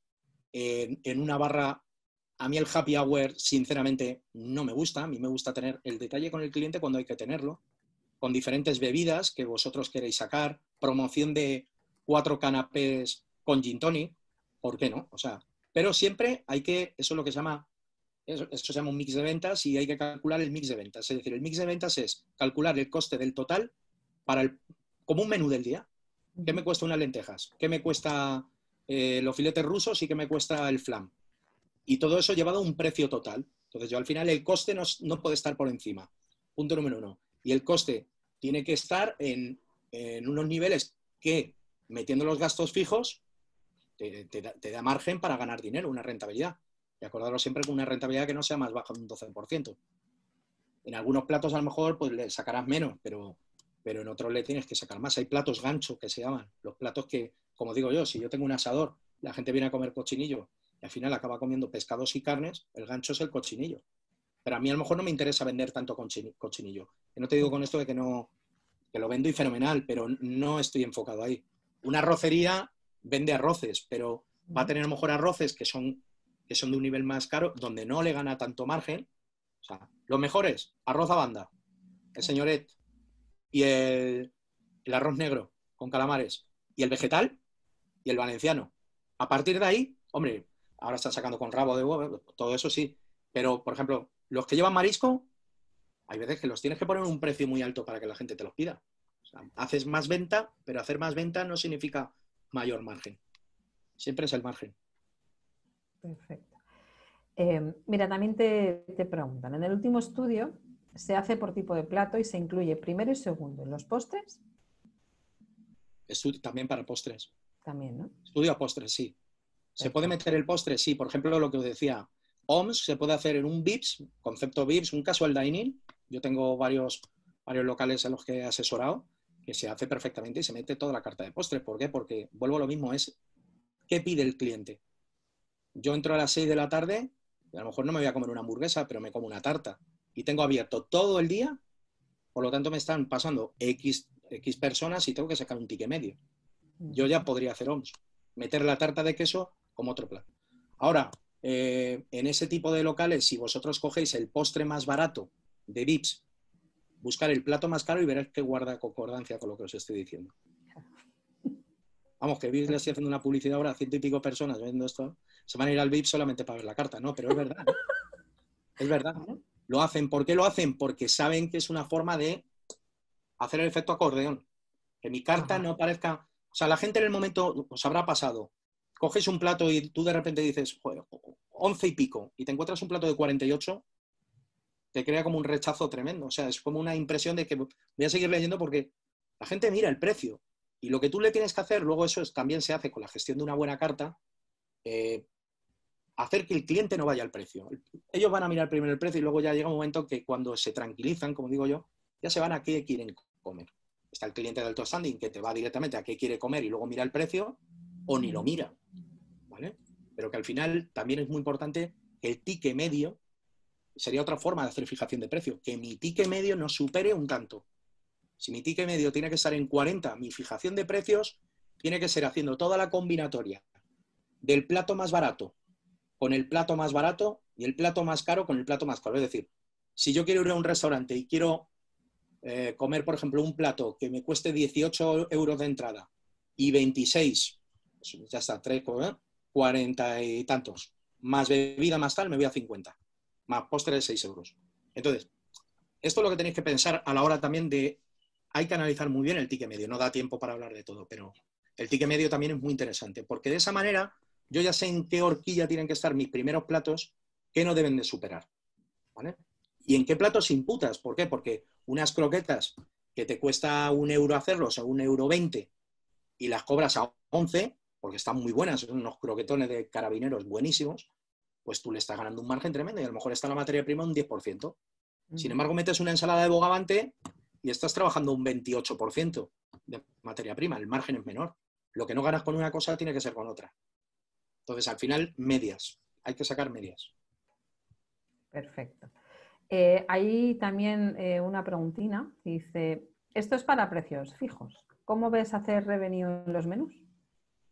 Bien. Pero eso tiene que ver un poco con las promociones que hablábamos antes. De hecho, que también vamos a agarrar un curso. Es que el revenue, el revenue sirve para saber en qué franjas horarias tú tienes que potenciar ventas. Yo tengo que intentar subir mi ticket medio, como sea. ¿Cómo lo hago? Con la gestión de fijación de precios. O ideal. Revenue, revenue tiene mucho que ver con fijación de precios. Está anexado totalmente a... Porque ahí es donde tú vas a ver lo que se está gastando el cliente y lo que tú quieres que se gaste. Perfecto. Hijo mío, me gusta. Em, Hasta ahora eh, te, voy a, te voy a poner... No. no me sacáis un... Te voy a poner un par de preguntinas ya y, vamos a ir concluyendo que tú también tendrás mm, que continuar con tu trabajo. Sin problema. Eh, estaban comentando también que si podíais eh, hablar algo de precios psicológicos eh, y de referencia con la competencia. Es lo que, es lo que había comentado antes. Yo, yo el precio psicológico, a ver, precios, precios psicológicos, pero sin sin dar ese efecto de que, de que al cliente le estás tomando el pelo. Porque hay veces que puede pasar esto, ¿no? Si tú al cliente le atraes, tú luego tienes que practicar con upselling. Eh, cuando, tú, cuando tú coges con, un con una logística, es decir, un tenedor te lleva, un tenedor te lleva, la empresa tenedor te lleva, tú estás ya trabajando con un precio que no es real. ¿Por qué? Porque si no pierde dinero. Porque si tú le estás dando un 50% ya de descuento, ¿cómo, ¿cómo tú ese 50% lo haces rentable? Tienes que trabajar con esos precios. Precio psicológico es ir, ir dos por uno. Vale, bien. Dos por uno menos la bebida. Yo de alguna manera tengo que crear un doble consumo. Y tengo que hacer para que se tome el café. Y tengo que hacer, o sea, el, el, problema, que yo creo que esto también hace mucho daño, el problema es que cuando te viene un cliente que busca el descuento, el cliente de descuento primero no fideliza porque va buscando el descuento y mañana será donde le hacen descuento, a otro que vaya... O sea, no fidelizas. Segundo, al final él va a verlo, ¿no? Tú no le puedes bajar tampoco las raciones. Pero cuando está pagando un precio, que esos sí son precios psicológicos, porque se lo está aplicando el otro, no lo estoy aplicando yo. Yo de alguna manera tengo que buscar mi ganancia, porque si no perderíamos dinero. Si yo el 100% de mi restaurante lo lleva da igual, ¿eh? tenedor o, caviar o el que sea, el club caviar o lo que sea, yo perdería dinero. Entonces, ¿qué tienes que hacer ahí? Bueno, pues también puedes hacer tus promociones. Incluso que mi cliente venga, oye, ¿por qué no vienes mañana conmigo que te voy a dar un 15% de descuento? ¿De acuerdo? O te vamos a invitar a un sorteo, te vamos a... O sea, hay muchísimas... ¿eh? Para esto los americanos son los mejores, ¿no? Que al final tú te estás bebiendo, te estás bebiendo un café y te puede llevar la taza y te va a salir un 10% más barata que comprándola en la tienda, porque ya la has usado. Encima me evito el, lavado, fíjate. O sea, o la pinta, ¿no? De cerveza. O sea, todo eso, todo eso es muy psicológico, ¿no?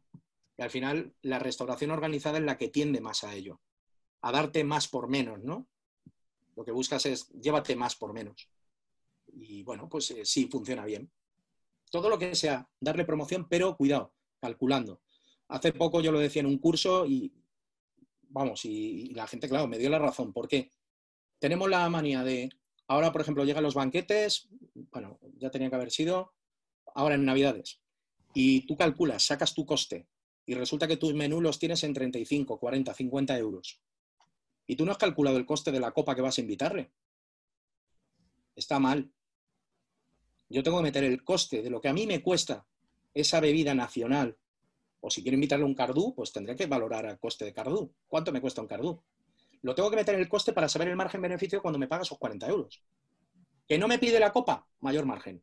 No es que le esté engañando, es que me estoy cubriendo. Pero si me pide ese cardú, ya lo tengo costeado. Por lo tanto, no lo estoy poniendo de mi dinero. Entonces, ahí también funcionamos con esa psicología, ¿no?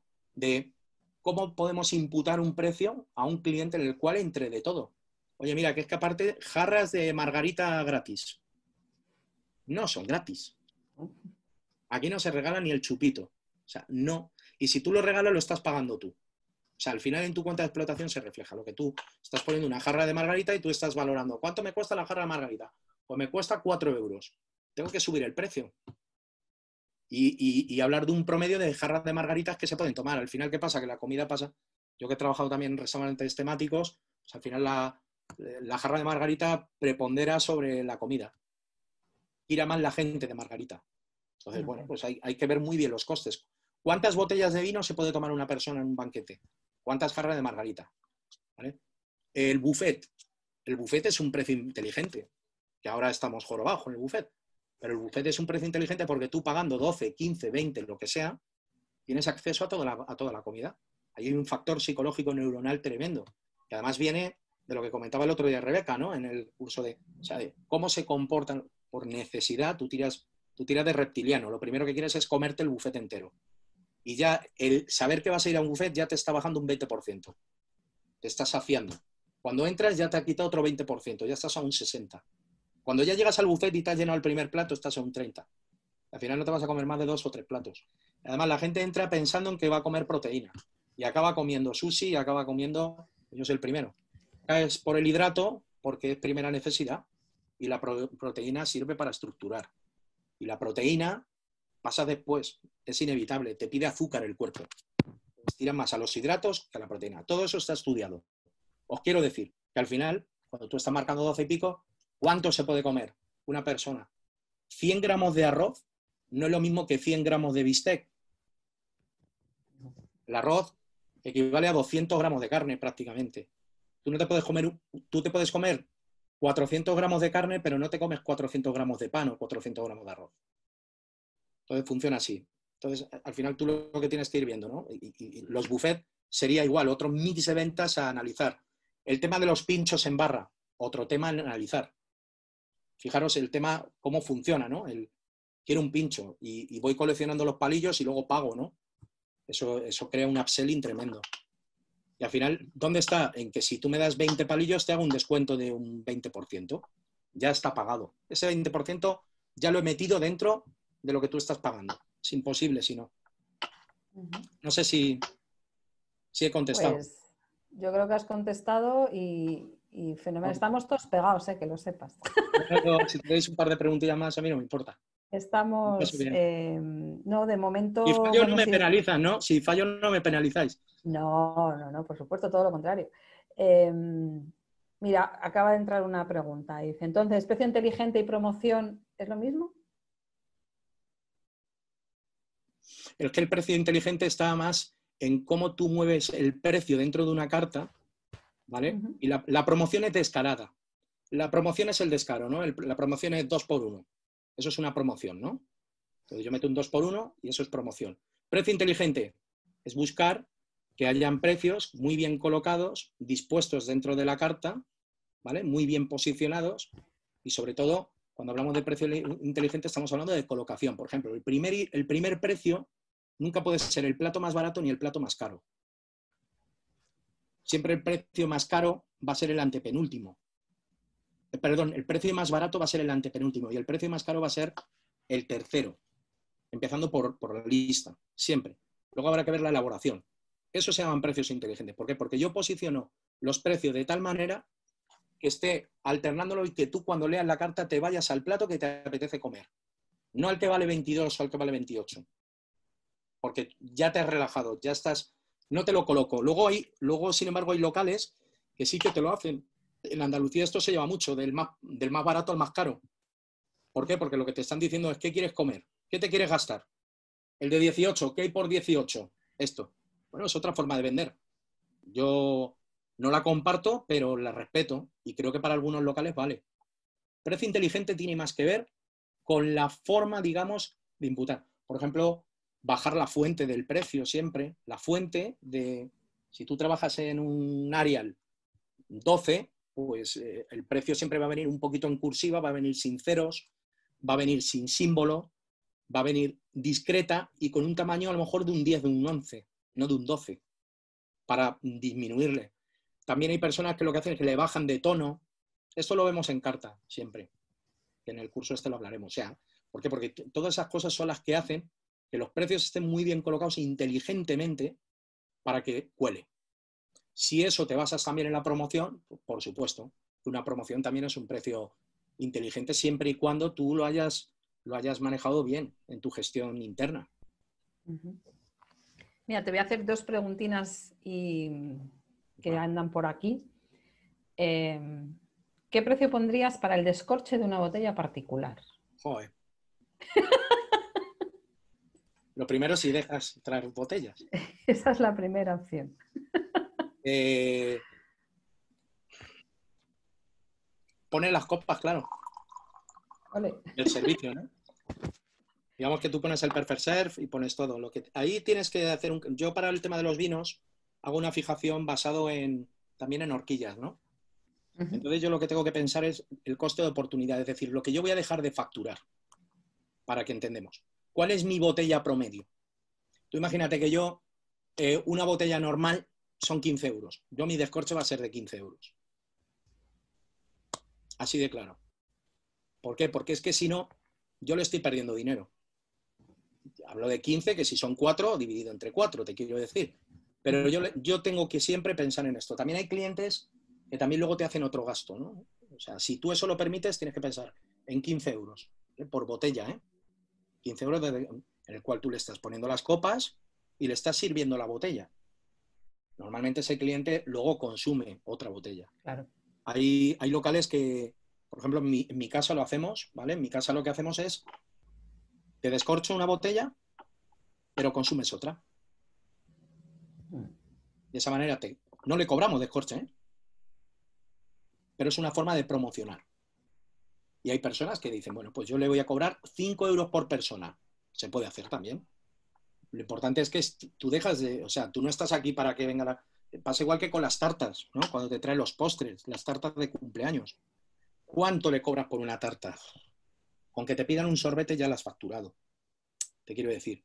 ¿De qué manera negocias con el cliente? Yo soy más de negociar, de decirle, oye, pues tómate unos, unos postres, todos van a tomar café, luego van a tomar una copa pues es una forma de decir, trae tu tarta de cumpleaños o tu tarta de celebración.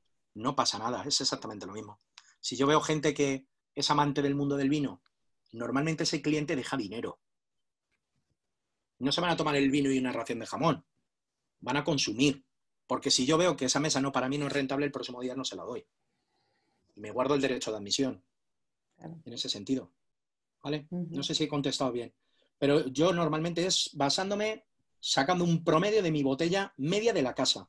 Si una botella de mi casa es 15 euros, yo le tengo que dar esos 15 euros por por lo menos que entre el dinero. Entra limpio, entra bien. Porque también, una cosa sí es verdad, le cobro 15 euros sin meter producto, por lo tanto no estoy, no estoy abarcando un coste. Es el coste de servicio. Ok. Em, ya es la última pregunta que te voy a hacer, porque mira qué hora es. Mi chico pobrecito mío. Eh, si en nuestro negocio solo nos basamos en vender con ofertas agresivas, em, ¿qué opinión crees que le suscitamos al cliente? Repíteme, repíteme, a ver, que entienda yo bien. Si en nuestro negocio solo nos basamos en vender con ofertas agresivas, ¿qué opinión suscitamos en el cliente? Yo las ofertas, es que yo creo que en esto son, hay que ser sutil. El precio es una forma de comunicarnos con el cliente y es tal vez la comunicación más directa que existe. ¿Qué es lo que vas a pagar? O sea, al final tú contratas algo para, porque lo vas a pagar. Y tú vas a un restaurante y vas a pagar. Y la carta, aparte de que es un salvoconducto y que tú vas a... Eh, presentas todo tu artillería. O sea, una carta dice quién eres tú. Y los precios lo que dice es qué soy capaz de darte por lo que vas a pagar. Es decir, hay mucho más detrás, hay una psicología también muy fuerte dentro de los precios, ¿no? En las cadenas hoteleras hay gente solamente que se, se encarga de pricing, ¿no? Analizando el pricing y cómo van a... Esto llevado a la restauración es importantísimo. Entonces, yo, cuando hablamos de agresivo, yo no le odio, y de verdad lo digo de verdad, odio cuando me están fulminando ofertas. Oferta por esto, oferta por otro, oferta. Yo no creo que esto sea un mercado de, ¿no? De, venga, que ahora tenemos... Ahí sí que a lo mejor yo me puedo sentir como más... están liando, ¿no? Yo creo que hay que tener una oferta, tú tienes tu menú de degustación, tienes tus sugerencias y tienes una promoción. La promoción del día. Ya para mí son muchas. Yo a lo mejor la promoción de fin de semana o la promoción del martes por la tarde, ¿no? Porque también ofrecer servicios es promocionar. Ven que tenemos un directo, un unplayed, y hay una persona tocando el piano, la guitarra o contando chistes, un monólogo. Eso ya también es incrementar, ¿no? O sea, se puede jugar con muchas... Entramos mucho en el mundo del marketing y creo que hay que ser fino cobrando. Hay que ser fino. Hay que ser elegante. Tú cuando en una carta se ve la elegancia del empresario. Y cuando tú estás teniendo un detalle, por ejemplo, eh, ya sabéis que, por ejemplo, se han quitado muchas cosas como el SM, el, según mercado, ¿no? El SM está prohibido. Tú tienes que poner la gamba cuánto está hoy. Creo, que tiene que haber una transparencia y una claridad con el cliente bestial. Y sobre todo que nunca vea que tú, tu gestión interna es tu gestión interna y nunca se puede ver. Yo, como yo, costeado. Esa copa que yo decía, alguno que vaya a mi casa va a decir, me invitarás una copa que la tienes costeada. Sí. Pero es que es eso, es que la actitud tiene que ser que el cliente esté relajado y se olvide del precio. Y que el cliente que va por el precio vea que realmente se hacen las cosas bien y que se lleva una metodología de dar buen servicio, de dar buen producto y que el precio está referenciado. Tú cuando ves algo que cuesta, es porque tienes que ver primero si lo vale. Yo entro en un restaurante y lo primero que me da, si yo veo una carta, una lista de vinos, por ejemplo, ¿no? Y veo la pizarra, yo voy a verla y voy a ver la transparencia, me están enseñando su casa. Estoy viendo 350, 275. Pues yo ya sé que los vinos son de nivel. Si yo no entiendo de vinos y digo, juego 275, que me tomo el chato en el bar de la esquina a 1,20, pues ya estamos perdidos. Porque entonces yo no voy a regatear, ese no es mi cliente. Primero tú tienes que tener en cuenta la forma de fijar precios es para, para también seleccionar tu clientela. ¿Quién entra y quién no entra? Todos los clientes no están para todos los locales. Pueden entrar a todos los locales, pero, o sea, eh, no sé, Sanceloni es Sanceloni, que muchas veces lo pongo de ejemplo. Quien quiera ir a Sanceloni no es caro ni barato. Es la experiencia que te quieras llevar. Yo no he visto a alguien que salga de allí de cenar y me diga, joder, qué caro, no. Y te ha gastado 500 euros. No es caro. ¿Qué te dan a cambio? Esa transparencia que yo te digo. Y ves que no acaba. Y ves que sigue. Y ves que ya dices, joder, esto es una maravilla. la terraza del casino, me da igual, cualquier restaurante, pero yendo a restaurantes pequeñitos también, ¿no? Ves que la experiencia aumenta, por lo tanto, es la frase última, si os dais cuenta, la calidad es lo que queda. Cuando yo, cuando yo he pagado, tú recuerdas el precio que has pagado cuando has salido inconforme, porque te duele. Cuando tú has salido conforme, es raro que tú digas, hoy pago 60. Tienes que ir a, la memoria biblia y decir, ay, sí, mira, que yo, por ejemplo, que soy un friki y guardo todo, ¿no? Te he toda la factura de cuando yo era un chaval y Barzac. Joder, es que pagué 60. Bueno, pero pagaste 60 ¿por qué? Y en esto funciona muy bien los restaurantes, yo siempre lo digo, restaurantes, por ejemplo, mexicanos, que dan muchas cosas a un precio prácticamente luego cerrado.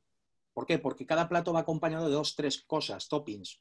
La, sensación de la gente es que de un mexicano es raro, la gente se puede ir cabreado porque no están buenas las tortillas o el aguacate o lo que sea, pero normalmente no por cantidad, porque te, dan mucho complemento y da mucha vistosidad ¿no? y mucho juego. Entonces son formas de llevar el marketing al precio. Tú pagas por esto, que vas a salir muy contento y cuando pagas 50 euros y sales escaldado, Mm, puedes pagar, hay restaurantes que pagas 15 y salen más escaldado. Pagar 15 con una mala experiencia, un menú del día con mala experiencia es peor que una carta con mala experiencia. El cliente percibe, percibe las cosas peor. Genial, pues mm, yo creo que, mm, que ha estado fenomenal. Muchas gracias, Manuel, porque la verdad es que aprendemos todos, todos los días. Y además lo has dicho clarito para todos los públicos, lo cual se agradece, la verdad. Nada. Eh, nada, te dejo unos, nada, un par de minutines si quieres para cerrar lo que quieras comentar. Sí, bueno, yo creo que más, ya, lo he, dicho todo, pero bueno, que nada, que un placer, como siempre. A ver ahora que hoy entramos en la fase 1, la verdad que me ha asombrado, ¿eh? porque yo diciendo, joder, fase 1 a lo mejor hay menos personas, ¿eh? y, ha habido, pues tanto como cualquier otra que hemos hecho, ¿no? Con todas las, todas las webinars, por lo tanto estoy muy contento, ¿no? De la respuesta de la gente, porque esto quiere decir que, también eh, el sector se está poniendo las pilas la parte de gestión está ahora muy de moda porque se dan cuenta de que, la gestión es importantísima, igual que en la parte operativa, tiene que haber una gestión en los negocios. Esto de la fijación de precios es un apartado más dentro de, la, de las muchas otras, de, los otros muchos temas y contenidos que se trabajan en gestión y que, bueno, que la Cámara siempre está abierta. Hay veces que nos proponen cursos incluso muy interesantes, ¿no? Y, y aparte los que nosotros sacamos, que esto es un aperitivo para poder seguir aprendiendo y que nada, que, abrimos cursos nuevos y que os apuntéis y que, oye, nueve horas por lo menos da mucho más, sobre todo la parte práctica, da mucho más tiempo que en una webinar, ¿no? De una hora. Pero que sobre todo cojáis esto y lo podáis poner en práctica. A mí, a mí me, de verdad, cuando, cuando voy a un restaurante o me llaman alumnos, amigos y me dicen que esto lo están llevando a cabo, jo, es que a mí me hacen feliz. Era mi, era mi, propuesta hace ya 20 años, ¿eh? Es decir, ¿por qué no hay una buena gestión como se lleva en cualquier empresa? O sea, si un restaurante es una empresa, ¿por qué no hacer las cosas bien? Y que habrá cosas que a lo mejor no las hagamos tan bien, ¿no? No hay que ser también igual, hay que decirle a la gente que no hay que ser economista ni matemático, que estas son fórmulas aplicadas. Yo no soy mal, yo sí he estudiado mucho porque me gusta y porque soy un friki, pero creo que al final la gente lo puede hacer con lógica, podemos empezar desde muy abajo, ¿vale? y, bueno, pues hoy me voy a liar con los escandallos, mañana con mi estudio de carta, al otro con el almacén. Al final tiene un negocio mucho más rentable y sobre todo saber tomar medidas en estos tiempos de crisis. Nada más, yo daros las gracias y, joder, pues encantadísimo de estar otra vez aquí. Raquel, gracias a la Cámara de Comercio por, darme la oportunidad ¿no? de, poder transmitir ¿no? estos conocimientos ¿no? y esta filosofía. Lo veo genial. ¿eh? Pues gracias a ti siempre y a los demás, muchísimas antes de que os vayáis, que me imagino que ahora ya es casi, tenemos todos un poco ya de, busilla. Eh, muchísimas gracias por estar, muchas gracias por acompañarnos, por, estar ahí siempre. Y bueno, ya sabéis que tanto la Escuela de, Hostelería como la Cámara de Comercio está a vuestra disposición para lo que necesitéis. Y nada, nos vemos en el, en el siguiente. El siguiente es el miércoles, que tenemos un coloquio sobre coctelería y el mundo del destilado, eh, que nos parece que también hay que tratar ese tema, también hay que ver ese, sector de, la hostelería y de la gastronomía. Y bueno, pues a los que queráis eh, inscribir ahí estamos. Eh, a los demás os mantendremos informados siempre de, de, todo lo que vayamos organizando, como siempre. Y nada, muchas gracias y hasta la próxima. Muchas gracias. Un placer. Gracias. Buena semana. Igualmente.